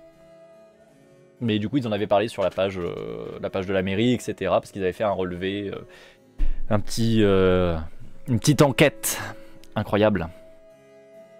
Je, je tiens juste à, à- Oui. à rebondir sur un truc vis-à-vis de la fibre euh, et de Facebook et tout le bordel. Euh, Est-ce que éventuellement tu as suggéré aux, gens relous de ta ville que en ayant la fibre dans ton, même dans ton immeuble, hein, mais en ayant la fibre dans ton immeuble, ils pourraient poster plus de trucs sur Et- Facebook? Tu te rends compte que l'entièreté de la ville a la fibre, sauf mon bâtiment? Je sais, c'est pour ça, je parle justement de ton bâtiment. Est-ce que tu Ah. t'as proposé éventuellement, tu vois, de comment dire, de, de, de- de t'infiltrer comme ça, mode oui, mais est-ce que vous saviez que Non, du non, coup, ils euh, s'en foutent. Ah, j'aurais. Euh, y a... C'était en juin dernier, donc pas juin qui vient de passer, hein, juin encore d'avant, dernière fois qu'on a fait une assemblée euh, générale. Euh, on en a parlé parce qu'en fait, euh, bah, la voisine qui est dans l'appartement qui est à côté de moi, qui pareil gueule aussi depuis un an avant ça, donc c'est pour ça que là on arrive sur les trois ans quand même qu'on réclame la fibre, etc. qui, demande à avoir un, un minimum la fibre, etc. On lui a dit non parce que de toute façon nous on n'utilise pas les réseaux sociaux, donc on s'en fout. Nous on n'utilise pas Internet, donc on s'en fout. On a le téléphone et ça nous suffit. Voilà. Et donc elle était là en mode bah, c'est très bien pour vous, mais euh, moi je l'utilise, putain. Et euh, maintenant euh, moi aussi je l'utilise. Et puis en plus il y a d'autres gens qui ont changé aussi là dans l'immeuble. Il y a plusieurs locataires qui ont, qui ont été qui ont été différents. Donc bon voilà. Je suis dans un des seuls arrondissements sans la fibre et je compatis. Non mais moi vraiment c'est un sketch. Hein. Quand, quand je vous dis que toute la ville a la fibre, c'est vraiment vrai. Enfin, quand on est allé voir le mec d'Orange, qu'on lui a dit mais est-ce que du coup on peut avoir la fibre? Je vous jure que le mec il a pas compris, il était là en mode bah bah non, toute votre ville a la fibre et tout, c'est pas normal. Enfin, vous avez forcément la fibre. On dit bah non, non, vraiment, elle y est pas dans le bâtiment. Et c'est quand il va voir sur les dossiers de, de Orange qu'il me dit ah oui, vous êtes le seul bâtiment de votre ville qui n'est pas relié à la fibre. Tous les autres bâtiments ont été reliés à la fibre d'une ville de 21 000 pélos. On a 21 000 habitants sur Saint-Maximin. Ils ont tous la fibre, sauf notre bâtiment. Et il me dit, bah, c'est marqué dans le dossier pourquoi C'est parce que, en fait, votre copropriété a refusé qu'on entre sur votre euh, propriété pour installer la fibre. Et c'est là où du coup on a dit, mais attends, quoi? Comment ça? Comment ça, mon ref? C'est quoi cette histoire? Et du coup, quand on a eu la réunion euh, des copropriétaires, bah en fait, il faut savoir que euh, nous, euh, moi et ma locataire, euh, enfin ma colocataire, pardon, on n'est plus locataire. À la base, quand on a vécu ici, on était locataire pendant deux ans, mais on a acheté l'appartement parce que j'ai eu un- une rentrée d'argent assez impromptue, qui du coup est très très vite repartie. Et donc du coup, on en a profité pour faire un, prêt sur 25 ans parce qu'on avait l'apport suffisant pour acheter l'appartement, histoire d'être un peu à l'aise. Et donc du coup, maintenant, on est devenu propriétaire, copropriétaire l'un et l'autre. Le truc, c'est que la quasi-totalité des propriétaires sont des propriétaires multipropriétaires qui font de la, qui font la location. Donc en fait, les gens qui habitent ici, la plupart, n'ont pas de, euh, de moyens de pousser en fait à avoir la fibre, etc. C'est au bon vouloir des propriétaires de merde qui, euh, s'en branlent. Euh, Il y en a une notamment qui était absolument immonde quand je l'ai euh, parce que je l'ai vue, je l'ai dû échanger avec elle, et vraiment une, une connasse finie. C'est une meuf qui t'explique que c'est très compliqué sa vie, parce que tu comprends, elle doit gérer toutes ses propriétés, elle fait que ça. C'est ça son travail, hein. d'ailleurs elle est très fière de dire que c'est ça son travail, c'est de gérer ses différentes propriétés et les locataires, mais que c'est vraiment beaucoup de travail parce que les gens ils ont tout le temps des demandes et que quand même c'est un peu abusé quoi. Waouh Waouh. si vous entendez, actuellement je suis en train de jouer du plus petit violon du monde. C'est très Ah très ouais. petit. du coup. Ah ouais, ouais. Non, mais vraiment, les, les parasites que c'est, c'est euh, c'est impressionnant. Et donc, elle expliquait aussi que elle pétait un cap sur une autre des euh, propriétaires. Par contre, propriétaire résidente. hein. et étonnamment, vous allez voir, c'est rigolo. Le peu de propriétaires que j'apprécie dans mon bâtiment sont les propriétaires résidents. Sont ceux qui ont qu'une seule propriété et qui vivent dedans, en fait. hein. C'est les seuls que j'apprécie. Et bizarrement, il y en a une donc qui est euh, propriétaire euh, parce qu'en fait c'est son ex-mari qui avait acheté. Euh, et donc du coup ils étaient mariés et quand ils se sont séparés avec la séparation des biens en fait elle a pu racheter sa part et donc du coup bah maintenant c'est son appartement et elle elle est infirmière pour le coup et donc du coup elle est tout le temps en train de courir après le temps et à galérer et bah, vous savez quoi la multipropriétaire elle a une dent contre elle parce que tu comprends elle répond pas aux SMS et moi j'étais là en mode vous vous rendez compte quand même qu'on est en pleine pandémie mondiale? Vous vous rendez compte? Parce que là, en plus, ça, c'était euh, du coup pas juin là, le juin d'avant. hein. Euh, donc il y a en gros un an et demi. Qu'elle me disait Ah, franchement, elle répond pas aux SMS et tout, c'est abusé. Je dis Vous vous rendez compte quand même que ça fait juste quelques années qu'on est en pleine pandémie mondiale, que c'est pas prêt de s'arrêter, que c'est un bordel monumental dans tous les sens, que bah, globalement les hôpitaux sont en train de canner hein, euh, en sous-effectif, et qu'elle est infirmière, donc elle est littéralement tout le temps en train de courir après le temps, littéralement toute la putain de journée. Peut-être que c'est pour ça qu'elle ne répond pas spécialement à vos SMS, ou en tout cas pas vite. Ah ouais, mais quand même, elle pourrait faire un effort. Enfin, moi, je prends bien le temps de répondre. Et là, tu te repenses à la conversation de 5 minutes avant où elle te dit que elle, son seul taf, son seul taf, c'est d'être multipropriétaire. Et tu te dis, ok. Euh, elle a répondu que euh, j'étais un peu un petit con. En l'occurrence. Oui, parce que c'est une dame qui est un peu plus âgée que moi. Donc moi, j'ai 30 ans. Euh, elle, elle a quelque chose comme euh, 45 euh, dans ces eaux-là. Et donc voilà, elle m'a gentiment dit que j'étais un petit con. On adore les gens comme ça.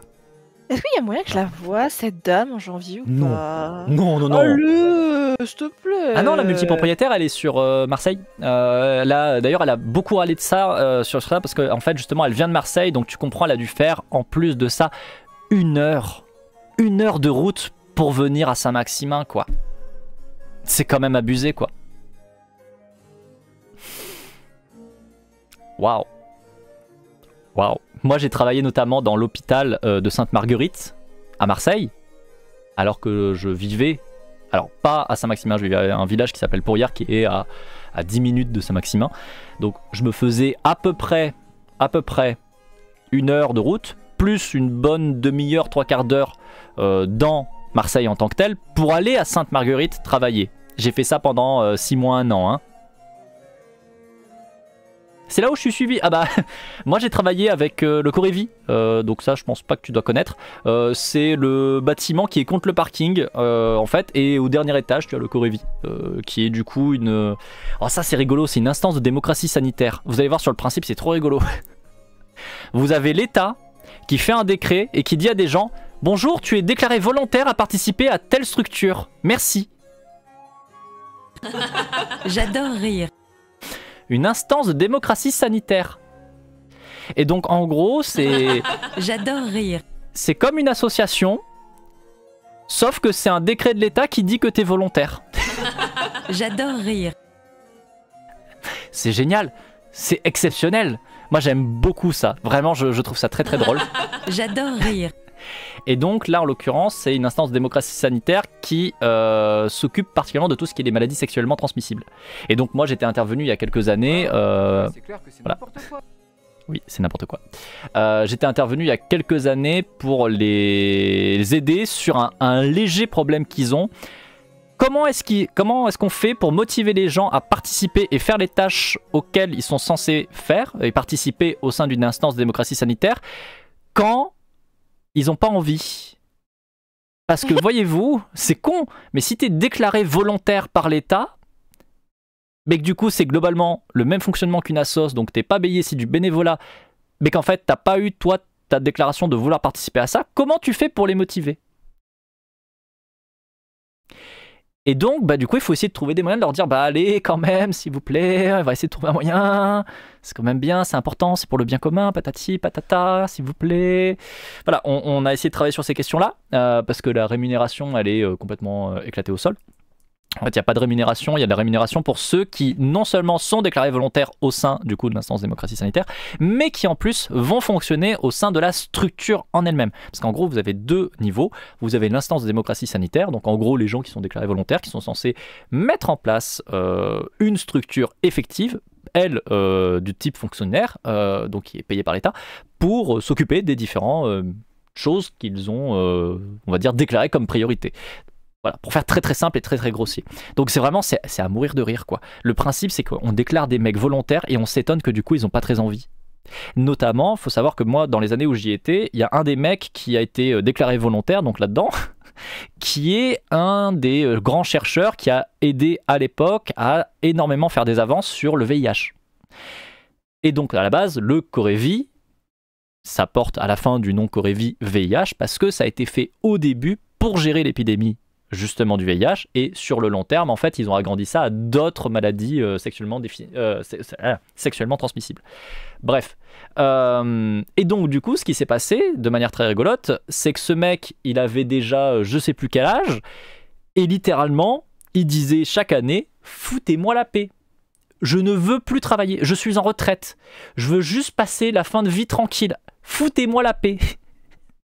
Chaque année, le décret il redisait Vous êtes déclaré volontaire à participer au sein de l'instance de démocratie sanitaire. Et le mec, il en pouvait plus, il disait Non, mais je viens pas. De toute façon, je boycotte, je viendrai pas à vos réunions, je m'en branle. C'était Oui. emmerde le pauvre. Moi, j'en rigolais parce que tu vois qu'il était en mode bonnard, en mode Vous m'envoyez des courriers, je m'en fous. Donc tu fais voilà. Mais euh, moi, j'avais un côté un peu où ça me faisait rigoler parce que vraiment, euh, tu vois que le mec, il, il prenait pas la tête. Enfin, il participait pas, il s'en branlait. Mais tu te dis, c'est quand même, euh, c'est quand même un sketch, quoi. C'est quand même un sketch. J'en ai vu des trucs, hein, en travaillant dans le, dans le médical, j'en ai vu. Pareil, toujours sur Aix-en-Provence, à un moment donné, j'ai travaillé avec la RS. C'était au moment où Hollande venait d'annoncer qu'il ne se re-proposerait pas comme président. Et du coup, c'était rigolo parce que tu voyais tous les gens de la politique qui étaient en train de placer des copains à eux à différents endroits pour que là, dans les quelques mois qui allaient suivre, qu'il allé avoir l'élection, et que du coup, ils seraient plus en poste en tant que ministre, etc., ils puissent eux-mêmes être du coup nommés quelque part dans les institutions pour avoir une petite passe au chaud. Donc, on voyait plein de gens être popés comme ça, des gens qui n'ont strictement aucune compétence hein, à, faire ce qu'ils étaient nommés à faire, parce que la seule vocation qu'ils avaient, c'était à venir placer leurs potes dans quelques mois, une fois qu'il y aurait un nouveau président. Et on a une réunion qui sert à définir le plan de santé sur plusieurs années, voire euh, je crois que c'était une décennie, je crois que c'est une décennale, je crois que c'était un plan décennal. Bref, vous avez trois jours de réunion intense avec la ministre de la Santé qui était là. Ça prend du temps, ça prend plein d'échanges. Vous avez des professionnels, des experts de la santé qui sont là, de la recherche, hein, qui concrètement arrivent tous au même point. C'est simple, il faut pas soigner les gens, il faut empêcher qu'ils tombent malades. Il faut faire de la prévention. Si on fait de la prévention, les gens ne tombent pas malades et c'est 10 000 fois plus rentable. Donc, en fait, il faut pas que les gens tombent malades. Et comment s'est conclue cette réunion à l'ARS Elle s'est conclue par est-ce qu'on peut quantifier combien de gens ne sont pas tombés malades? Avec euh, des moyens Non, on peut pas voir combien de l'argent qu'on a investi à empêcher des gens de tomber malades. Donc on va pas faire ça. J'adore rire.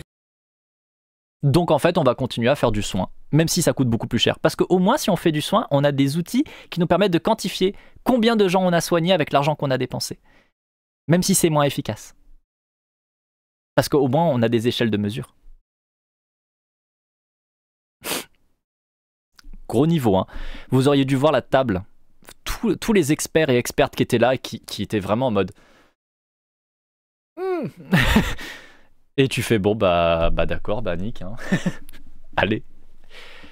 Est-ce que c'est autorisé de les haïr? Bah oui, hein, euh, moi ça fait des années que je le fais. C'est pas sans raison si je suis parti en dépression et que j'ai fait un, un énorme burn-out. hein.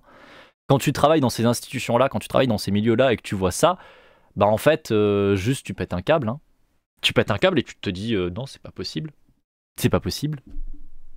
C'est mort. Enfin, t'as t'as envie de les tuer après. T'as envie de leur faire beaucoup de mal à tous ces gens-là. hein. Ça, ça fait péter un câble. hein. Tu peux reprendre leur don, s'il te plaît. On en est arrivé à ce point-là.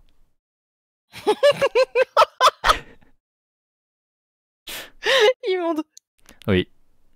Euh, comment faire son boulot de chef si on n'a pas d'indicateur pour montrer qu'on fait bien son boulot de chef? Ben oui, c'est à peu près l'idée. C'est à peu près l'idée. Euh, vraiment, moi, c'est un truc qui m'a fait péter un câble. C'est un souvenir, cette réunion de l'ARS, c'est un truc qui reste indélébile, quoi. Trois jours de réunion, et vraiment, quand je vous dis qu'il y a eu une journée entière où ça a été que ça, tous les experts qui te disent, toutes, pour plein de raisons différentes, hein, ils te disent non, non, mais il faut faire en sorte qu'on ne tombe pas malade. Le plus rentable, clairement, net, précis, c'est que les gens ne tombent pas malades et que ça se finit en une heure, vraiment une heure de discussion à la fin de la journée par ouais, mais du coup, est-ce qu'on a des indicateurs? Bah, on a des bah, oui, on a des indicateurs, mais, euh, mais pas comme des tableurs Excel, etc., comme on a l'habitude de faire là dans, dans le suivi de soins, etc. Hein, donc ça permet pas de quantifier. Donc en fait, on sait pas vraiment qu'est-ce qu'on a investi et quel retour on a sur investissement. Bah, Enfin, quand même, on a des études qui prouvent ça. Ouais, mais là, on n'a pas un chiffre, une échelle qui permet de le mesurer. Bah, bah non, parce que ça se mesure en fait, puisque le principe c'est que les gens tombent pas malades. Donc en fait, s'ils tombent pas malades, on peut pas quantifier qu'ils sont pas tombés malades parce qu'on a investi de l'argent. Enfin, c'est- enfin, parce qu'ils sont pas tombés malades. Enfin, c'est logique. Hmm, Ouais, bah du coup, on va rester sur le même plan qu'avant. Ok. Ok. Et le pire, vraiment, je pense que le pire dans tout ça, c'est que quand je vous dis, j'ai vu tout- toutes les experts et expertes qui étaient là, ils sont même pas étonnés. Ils sont même pas étonnés. Ils sont usés de faire ça à chaque fois. Mais ils ont l'habitude. Ils ont passé trois jours à argumenter, mais ils y croyaient même pas. Et de constater que, bah oui, de toute évidence, tu crois pas, enfin, t'as pas à y croire, parce que de toute façon, ça sera pas retenu. Et vraiment, tu vois que euh, c'est comme ça. Et après, vous avez des lordons, là, comme euh, grosse merde de lordons, parce qu'on va essayer de recentrer sur la lecture quand même, qui vous dit que c'est la marche des choses, c'est le temps naturel, tout ça, tout ça. Il y a des choses qui bougent des fois, des choses qui bougent pas des fois, et qu'il n'y a pas de rapport de force, bien sûr. Bah non, bien sûr que non. Non. voyons. Bien sûr que non. Oh, saurait. Vous, vous êtes, une naïveté, vraiment. Bon, après, encore une fois, c'est pas le pire truc que j'ai entendu. hein. Je m'en doute. Je sais quoi. Il y a eu la fois aussi, alors ça c'était à peu près dans la même période, euh, donc on voyait des gens se faire propulser à certains endroits. On a proposé un changement euh, au niveau d'un truc de prévention euh, des soins au niveau du Corévi, et ça a été refusé pour une raison incroyable. Attention, hein. il y en a certains qui vont péter un câble, hein, mais vous allez voir, c'est rigolo. Ils ont refusé la nouvelle direction de projet parce que s'il y a des effets ça serait mis au crédit du prochain gouvernement.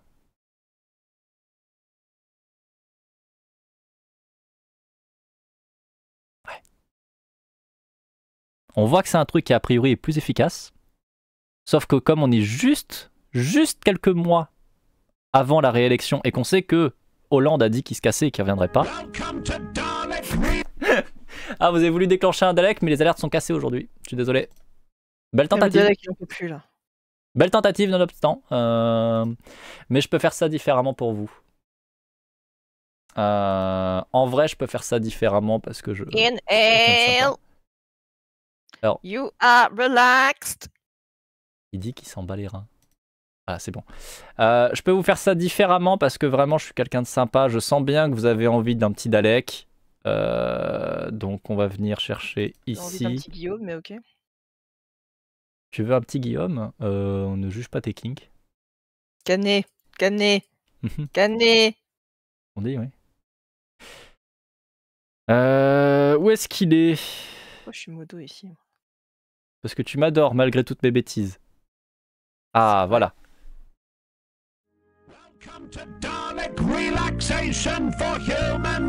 Je regarde si je peux, euh, si je peux rembourser Fred.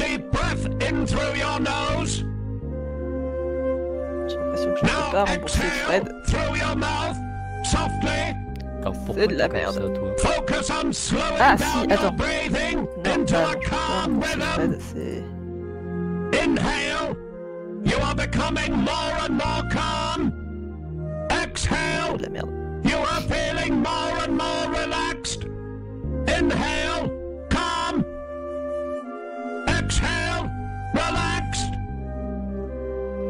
Inhale. Calm. Exhale. Relaxed. Inhale. Calm. Exhale. Relaxed. Continue to breathe slowly and calmly. The aches and stresses of daily life are floating away. Your tension has been exterminated.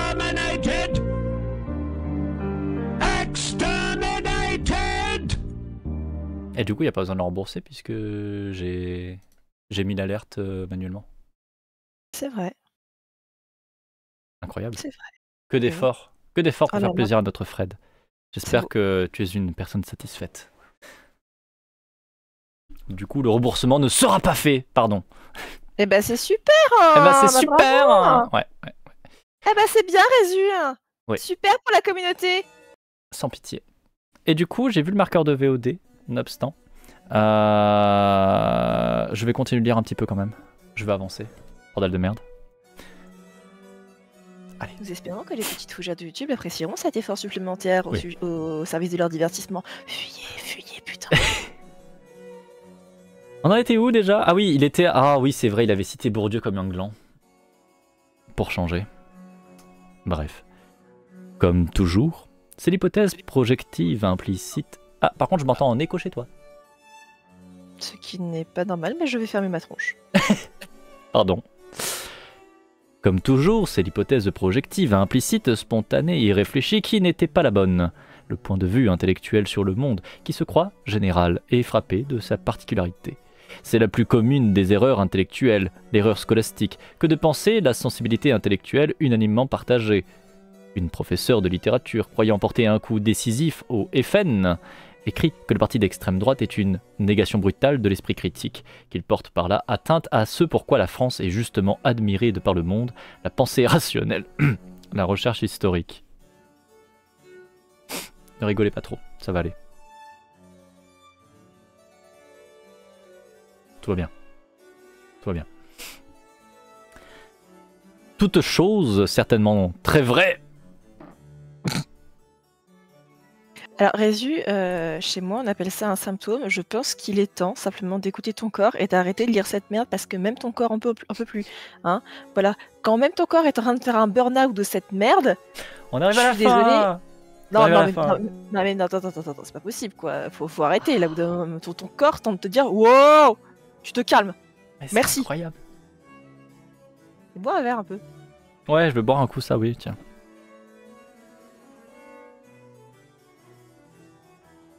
Et pendant ce temps-là, petit fougère de YouTube, permettez-moi de vous rappeler qu'il est très intéressant, très apprécié également de s'abonner, mettre la cloche et de laisser un petit commentaire éventuellement pour dire à quel point vous avez aimé cette vidéo ou une autre et on vous comprendra. Plutôt une autre, à mon avis. Je reprends.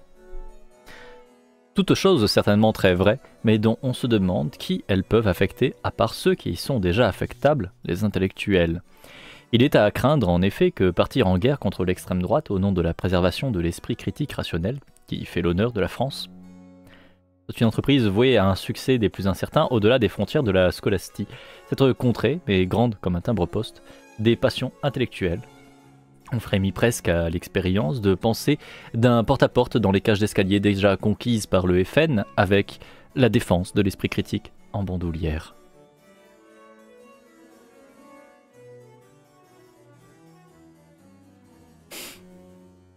Alors je veux bien frémir, euh, enfin je veux dire, je veux bien surtout ne pas, comment dire, ne pas shamer les kinks, mais, vraiment? Bah oui, parce qu'en fait, on revient sur la même idée logique de base de sa part, c'est que euh, les gens sont cons, donc le peuple vote FN.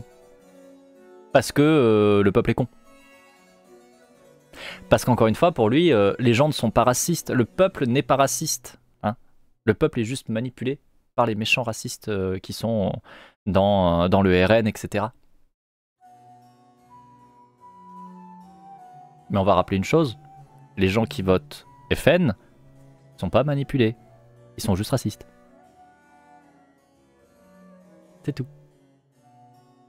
Et oui. Et oui. Et aussi oublier que c'est majoritairement un vote bourgeois, mais bon, ça, bon, comme d'hab, hein, bref. Bref. Bref. Je reprends. Tous les rappels aux principes que formulent à longueur de temps les intellectuels par voie de tribune ou de pétition, grevés des mêmes sociocentrismes, sont voués aux mêmes insuccès. Non pas d'ailleurs qu'il ne faille pas y sacrifier, mais qu'il ne faille pas se faire d'illusions quant à leur portée réelle. Leur effet n'est pas nul, ne va guère plus loin que le cercle étroit des lecteurs de la presse nationale, peut-être même les seuls sous-cercles des éditorialistes, des journalistes, bref de tous ceux qui, engagés dans le champ publiciste, se vivent comme des intellectuels et partagent peu ou prou les mêmes dispositions intellectualistes que les pétitionnaires. Au-delà, rien ou très peu. Redisons qu'il n'est pas totalement vain, pourvu que ce soit en connaissance de cause, de diriger des stratégies d'intervention vers la méta-machine affectante que sont les médias, précisément parce qu'elle est un point archimédien dans la structure sociale. L'effet de levier y est tel que des petites causes peuvent y engendrer de grands effets. Peuvent et peuvent pas, puisque par définition, grand effet désigne la rencontre avec les affectibilités du grand nombre, et que la projection spontanée des affectabilités intellectuelles en son vocabulaire par exemple, et ses manières de parler, frappe d'emblée cette rencontre d'improbabilité. Oui, la métamachine, ouais, ouais. Là, en gros, pour vous expliquer un petit peu ce qu'il vous dit en plus clair, il vous raconte que, en gros, c'est un peu ce qu'il nous avait dit euh, plus tôt dans le livre, s'il y a des gens qui ont tenté de faire des révolutions à des moments donnés, mais que ça n'a pas marché, bah c'est parce qu'ils sont trop cons, parce qu'ils auraient dû attendre le bon moment. Et donc il y a plein de gens qui font des tribunes, etc., pour essayer de motiver, de pousser à des rébellions, etc. Mais que c'est compliqué, euh, parce qu'ils choisissent ce mauvais moment, en fait, ils sont pas bons. Euh, donc ils peuvent essayer de le faire, mais au final ils touchent pas grand monde, parce que c'est pas le bon moment, puisqu'il faut pas oublier que la révolte se fera quand il faudra qu'elle se fasse, et pas avant, et pas après, bien sûr, puisque c'est quelque chose de naturel, la révolte. Euh, il nous dit aussi par ailleurs que, bah oui, effectivement, nous avons des grosses structures, comme les médias, incroyables, puissantes, etc., et qui peuvent donner un effet loupe sur des euh, trucs magnifiques, mais aussi sur des trucs très nuls. Et donc que bah, c'est compliqué. Voilà. Euh, Je vous résume à peu près hein, son paragraphe, ça, revient à ça. hein.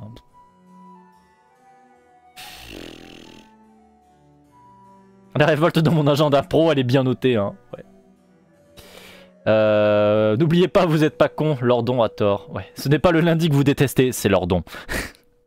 je vous laisse, il faut que je me prépare un peu pour celle-là. Des bisous. Bah, des bisous à toi, Nils. Bon courage pour, euh, du coup, je présume, la réunion. Euh, je reprends. Le grotesque des entreprises intellectuelles, cependant, ne doit pas faire oublier ce qu'elles ont d'intrinsèquement vertueux, désirable. Attends, quoi? Là, ah mon dieu, les gens intellectuels sont intrinsèquement vertueux.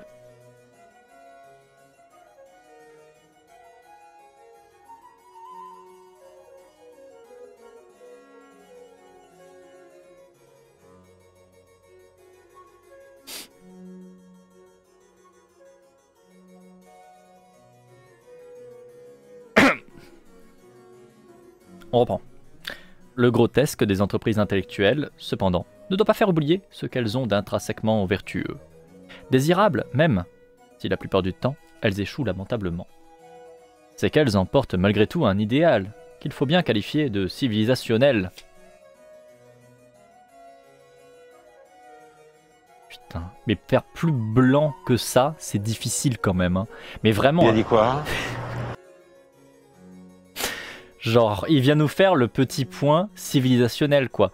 Dans 5 minutes, il va nous dire Non, mais vous comprenez, euh, si les colons ils sont venus coloniser, c'était pour le bien des populations natives. Ils avaient besoin qu'on vienne les aider en leur donnant la civilisation. Je le sens, je l'appelle, je... c'est l'arnaque. Je sais pas si vous m'avez entendu hurler intérieurement. S'il sort à nature humaine, je crie bingo. Hein.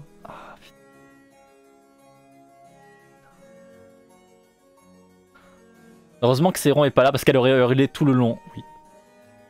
Oui. Je reprends. L'idéal de la discussion, qui est d'une certaine manière l'idéal de la substitution efficace des mots aux choses. L'idéal de la discussion est un idéal dans lequel les idées portent autant que les choses dont elles sont les idées, où les arguments affectent conformément à leur contenu objecto. Non pas encore l'idéal rêvé par Habermas d'une communication entièrement gouvernée par les normes de la vérité, qui ferait du débat démocratique une sorte de séminaire, mais tout atteste que c'est une vue de l'esprit. Même le champ scientifique censé en offrir la moins mauvaise approximation ne s'y conforme parfois que très lointainement, avec bien sûr des variations propres à l'inégale condition épistémologique des différentes disciplines. Le débat démocratique, en tout cas, n'est pas exactement un colloque où la norme du meilleur argument règne sans faille. La fantasmagorie qui aura rêvé l'extension possible au débat politique des formes empruntées au débat scientifique pour en faire un lieu de débat pacifié. Bah ça, ça veut dire que t'as jamais vu un débat scientifique, frère. hein. Pardon, euh, les débats scientifiques euh, qui sont euh, qui sont pacifiés. Je.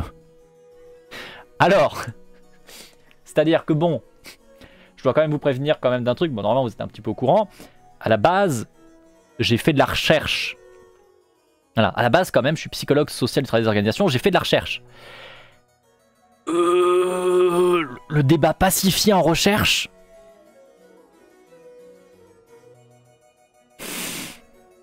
Va falloir le chercher loin. Hein. Va falloir le chercher longtemps aussi, hein, parce que je l'ai pas beaucoup vu moi. hein. C'est octogone sans règle, hein, la recherche.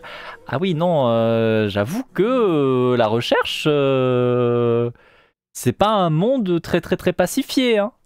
Clairement pas. Hein. Et puis alors, en plus de ça, dans le cadre dans lequel on est, notamment en France, avec une recherche qui est complètement bouffée par le monde capitaliste, euh, non seulement tu as énormément de, euh, comment dire, d'octogones dans la recherche pour euh, qui veut être mis en avant, qui veut montrer qu'il est mieux, etc. Mais tu as aussi et principalement pour avoir des fonds. Pour juste pouvoir avoir des fonds, tu vas te battre et tu vas te foutre sur la gueule avec ton voisin pour lui piquer le maximum, quoi. Genre, euh, c'est. Waouh Le, j'avoue que le côté, le débat pacifié du monde scientifique là, faut vraiment en être en dehors pour la sortir. Hein. Faut vraiment, faut vraiment en être dehors. Hein. Au con, au con. Bon, allez, je reprends. Donc, euh, la fantasmagorie qui aura rêvé l'extension possible au débat politique des formes empruntées au débat scientifique pour en faire un lieu de débat pacifié, note pas cependant qu'il y a quelque chose à poursuivre dans l'idéal de la discussion, désormais compris comme idéal des idées puissantes. L'idéal des idées puissantes ne saurait sans doute se faire passer pour l'institution de la discussion rationnelle, et le wishful thinking habermasien demeure toujours aussi lointain. Mais il s'agit tout de même que les les abstractions pardon, idéales gagnent en pouvoir d'affecter et qu'elles deviennent capables de faire effet au-delà de cette minorité qu'on appelle usuellement les intellectuels. Qu'est-ce qui va me sortir sur la minorité des intellectuels Par contre, ça, je commence à le craindre. Ou bien, pour le dire autrement, que les intellectuels, compris non comme groupe social particulier, mais comme disposition caractéristique, comme ingénium susceptible d'être plus affecté par des abstractions idéales, deviennent de plus en plus nombreux.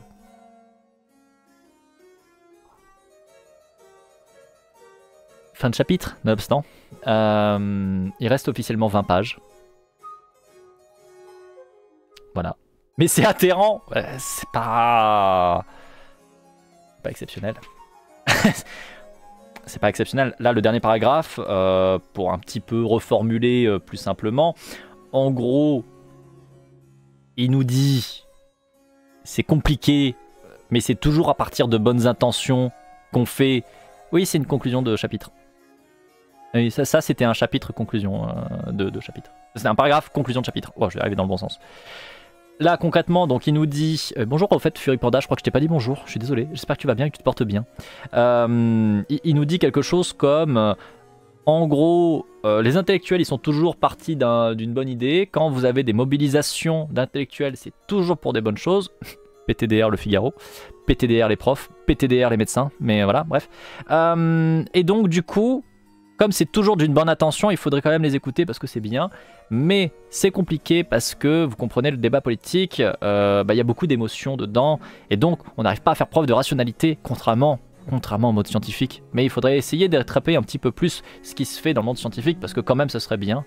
Ça élèverait le débat, patati patata, hein, bien sûr. Euh, et il nous finit avec son caca habituel euh, sur un magnifique. euh, les intellectuels, c'est un peu une minorité, mais c'est une minorité qui mérite d'être une minorité parce qu'en fait, c'est pas du fait d'une classe sociale. Je, re- je reprécise exactement ce qu'il nous dit. Pour dire autrement, les intellectuels, compris non comme un groupe social particulier, mais comme disposition caractéristique. Donc en fait, si vous êtes quelqu'un qui est intellectuel, c'est parce que vous avez un gros cerveau. Hein. Voilà. Si vous avez des diplômes, c'est parce que vous méritez vos diplômes. Hein. C'est pas une catégorie sociale, c'est parce que vous avez des dispositions spécifiques propres à vous-même. C'est incroyable quand même. C'est quand même bien fait cette machine. hein. C'est quand même incroyable. Si vous êtes patron, c'est parce que vous méritez d'être patron. Si vous êtes euh, médecin, c'est parce que vous méritez d'être médecin. Parce qu'il n'y a pas du tout d'éléments éventuellement de, de catégorie socio-professionnelle à laquelle vous appartenez, qui vous garantit plus facilement qu'à n'importe quel autre strate de population, etc. Non, non, non.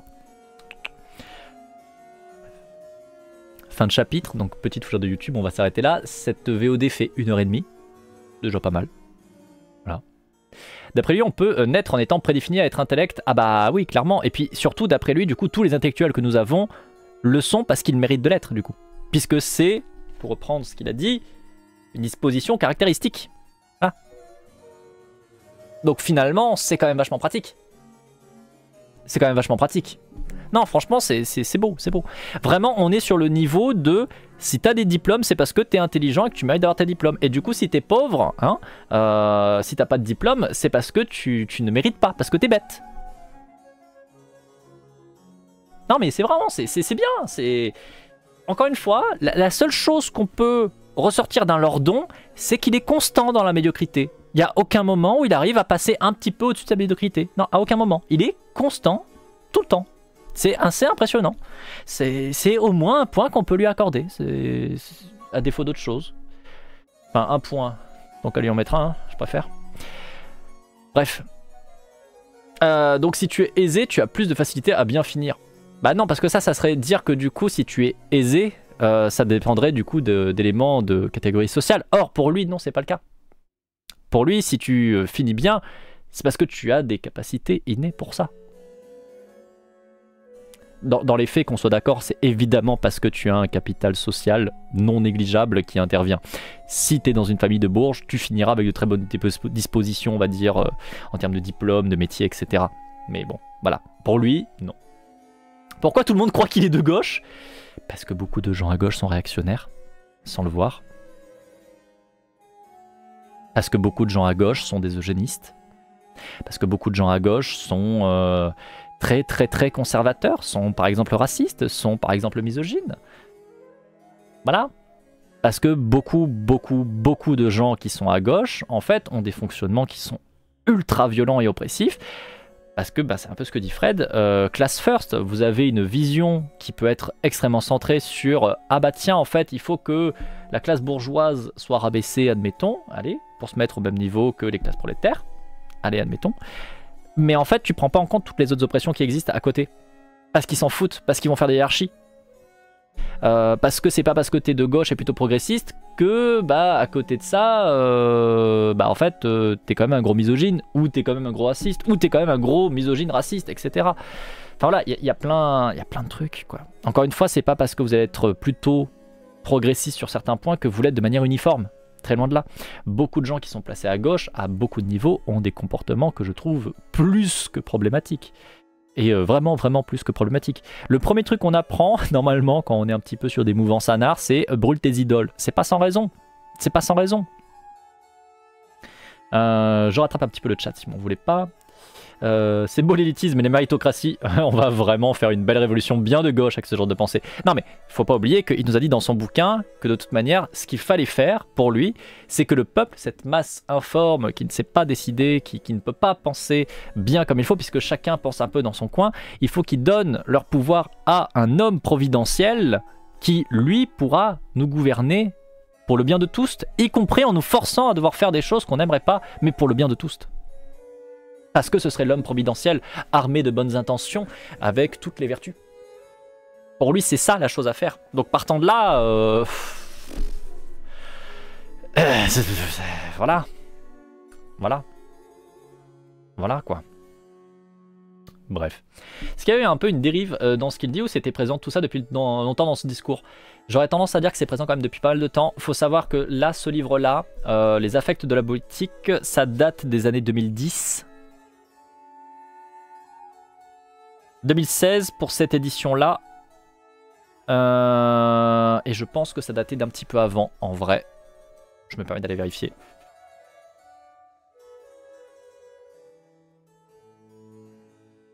Hop. Ah non, 2016 l'édition originale. Je pensais que c'était un peu plus tôt dans l'année, euh, un peu plus tôt dans la décennie. Je pensais que c'était plutôt vers 2012, euh, 2013 dans ces eaux-là, mais non non, euh, 2016 la première édition. Euh, donc en vrai ça fait bon, ça fait quand même déjà une dizaine d'années, hein, ceci dit, Euh, parce que bon, on est bientôt en 2024, hein, mine de rien. Donc grosso merdo ça fait 8 ans quoi.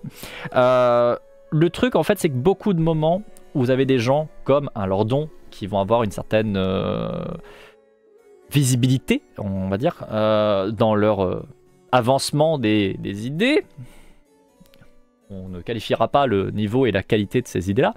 Euh, c'est que, bah, notamment, vous avez des cercles sociaux qui vont faire qu'ils vont être mis en avant, plus que d'autres. Typiquement, des auteurs racisés, des auteurs femmes, bah, elles, eux, ont tendance à être totalement invisibilisés. En tout cas, sur tout ce qui est les médias, les- le grand public. Oui, je vais boire juste après. L'eau. Bon, en vrai, non, j'en pourquoi profite. je bois devant vous un verre d'eau? Merci, à la vôtre. Et donc du coup, euh, déjà, tu as, ce premier élément-là, c'est que lui, bah, euh, grosso merdo, euh, voilà, il, il est mis en avant beaucoup plus facilement que beaucoup d'autres. Donc, on va avoir aussi un bagage plutôt euh, positif qui va lui être posé dessus parce que euh, c'est intellectuel, euh, il parle bien, patati patata. Alors, il parle bien entre guillemets, hein, parce qu'en fait, il parle très empoulé, mais, mais il dit pas très très bien des choses. Mais bon, bref, vous, vous avez donc toute une valorisation sociale de ce qu'il dit qui fait que ça lui colle une image intéressante, ça lui cause une image de bon fond, etc., etc. Mais beaucoup de gens ne vont pas aller plus loin. Beaucoup de gens ne vont pas creuser, notamment ses livres. Beaucoup de gens vont rester sur ces quelques petites interviews. Mais qu'est-ce que c'est qu'une interview pour un intellectuel, pour quelqu'un qui publie comme lui? Qu'est-ce que c'est qu'une interview? C'est rien. Ça, c'est- très rapide. C'est généralement par rapport en plus à l'actualité ou autre, ça permet pas vraiment de voir le profondeur de l'idée qu'il y a derrière, qu'il développe par contre, qu'il va développer en long en large dans des livres. Là en l'occurrence dans les affects de la politique. Donc du coup, beaucoup de gens vont avoir ces images-là parce que concrètement, on, on va pas creuser un Lordon. Il est peut-être là depuis 10, 15 ans, 20 ans à parler, visible, avec beaucoup de bagages, on va dire plutôt, euh, plutôt amélioratif, plutôt euh, à à valider euh, lors des interviews, etc.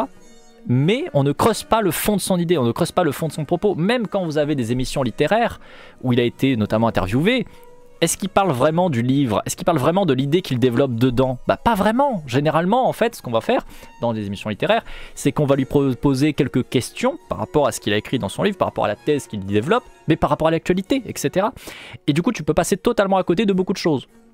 Ce que là, du coup, on ne fait pas, puisque là, on lit un livre et on prend vraiment euh, page par page au fur et à mesure, on décrypte tout. Donc déjà, euh, voilà, on n'est pas du tout sur euh, le même travail, et c'est peut-être aussi pour ça que là, vous voyez des choses que vous ne voyez pas autrement quand vous avez entendu parler d'un lordon, pour le coup. Voilà, on, écoute discours vite fait, mais t'as jamais lu de livre, et donc forcément, bah, ça, peut expliquer beaucoup de choses. J'avais pas l'impression qu'il racontait ce genre de truc avant, il a toujours globalement raconté ça. Après, encore une fois, un autre truc aussi qu'il à en prendre en compte, c'est que plus tu travailles une question, plus tu vas faire de livres au fur et à mesure, plus tu vas pouvoir aller profond dans tes idées. Peut-être qu'au début, ses premiers discours étaient beaucoup plus euh, légers sur un certain nombre de thématiques. Là, typiquement, un truc qui moi m'a fait euh, très très vite me mettre en colère, c'est le moment où il te dit les personnes racisées servent d'épouvantail par le FN pour euh, déranger le peuple, pour que le peuple aille s'attaquer à un faux problème, etc. Et en fait, en faisant ça, ce que ça sous-entend, ça sous-entend que les personnes racisées ne sont pas le peuple. Parce qu'il le tourne, alors je ne plus exactement la manière, mais en gros, il dit euh, que euh, voilà, les, personnes racisées euh, ne servent que d'épouvantail. Donc ça sous-entend qu'en fait, ils sont pas dans le peuple. Parce que s'ils étaient dans le peuple, tu dirais ça différemment. Tu dirais que par exemple, les personnes d'extrême droite vont euh, utiliser les problématiques d'oppression, enfin, je sais pas comment tu pourrais le tourner, mais tu as plein de manières de le tourner beaucoup plus propre, euh, pour dire que, bah, en gros, le, on fait en sorte que le peuple se batte contre lui-même euh, en, en essayant de le faire centrer sur certains problèmes. Mais en fait, là, même pas. Là, déjà, du coup, ça sous-entend que ce n'est pas un problème, c'est une diversion. Déjà, l'idée même que toutes les oppressions racistes et compagnie ne sont qu'une diversion, que ce n'est pas un problème, c'est un problème. Enfin, bien sûr qu'on a des oppressions racistes, c'est une évidence. Donc à un moment donné, si pour toi, les problèmes que rencontrent les personnes racisées, ça ne sert que des diversions, ça sous-entend qu'en fait, tu, n'as pas compris le truc. Ça sous-entend que tu n'as pas vu à un seul moment à quel point on est vraiment salement enclavé à tous les niveaux dans des logiques racistes. Et c'est le cas avec un lordon. Mais la plupart du temps, on va pas travailler ça quand on reçoit un lordon. Parce qu'encore une fois, bah, vous allez voir un discours lors d'un- lors d'une convention, euh, lors d'un interview, lors de ceci, cela. Il va te parler de deux, trois trucs. Tu vas peut-être entendre une phrase où tu vas dire Ah, bizarre quand même. Mais tu vas pas aller plus loin. Donc en vrai, si, je pense que ça a toujours été globalement là. Après, j'ai pas lu ses premiers bouquins, et peut-être que si on lisait ses premiers bouquins, on verrait euh, déjà des signes bien vénères, ou peut-être qu'à contrario, on verrait euh, une descente aux enfers, je sais pas. Je vous avoue que quand je vois son parcours, fils de patron, euh, ça part mal. Mec blanc bourgeois, valide, 6, aisé, qui est économiste. Bon, ça part très très mal quand même en fait. C'est quand même un peu difficile de se dire que là, oui, c'est maintenant seulement récemment que euh, il a pris un gros tournant réactionnaire. Disons que c'est quand même vachement mal parti.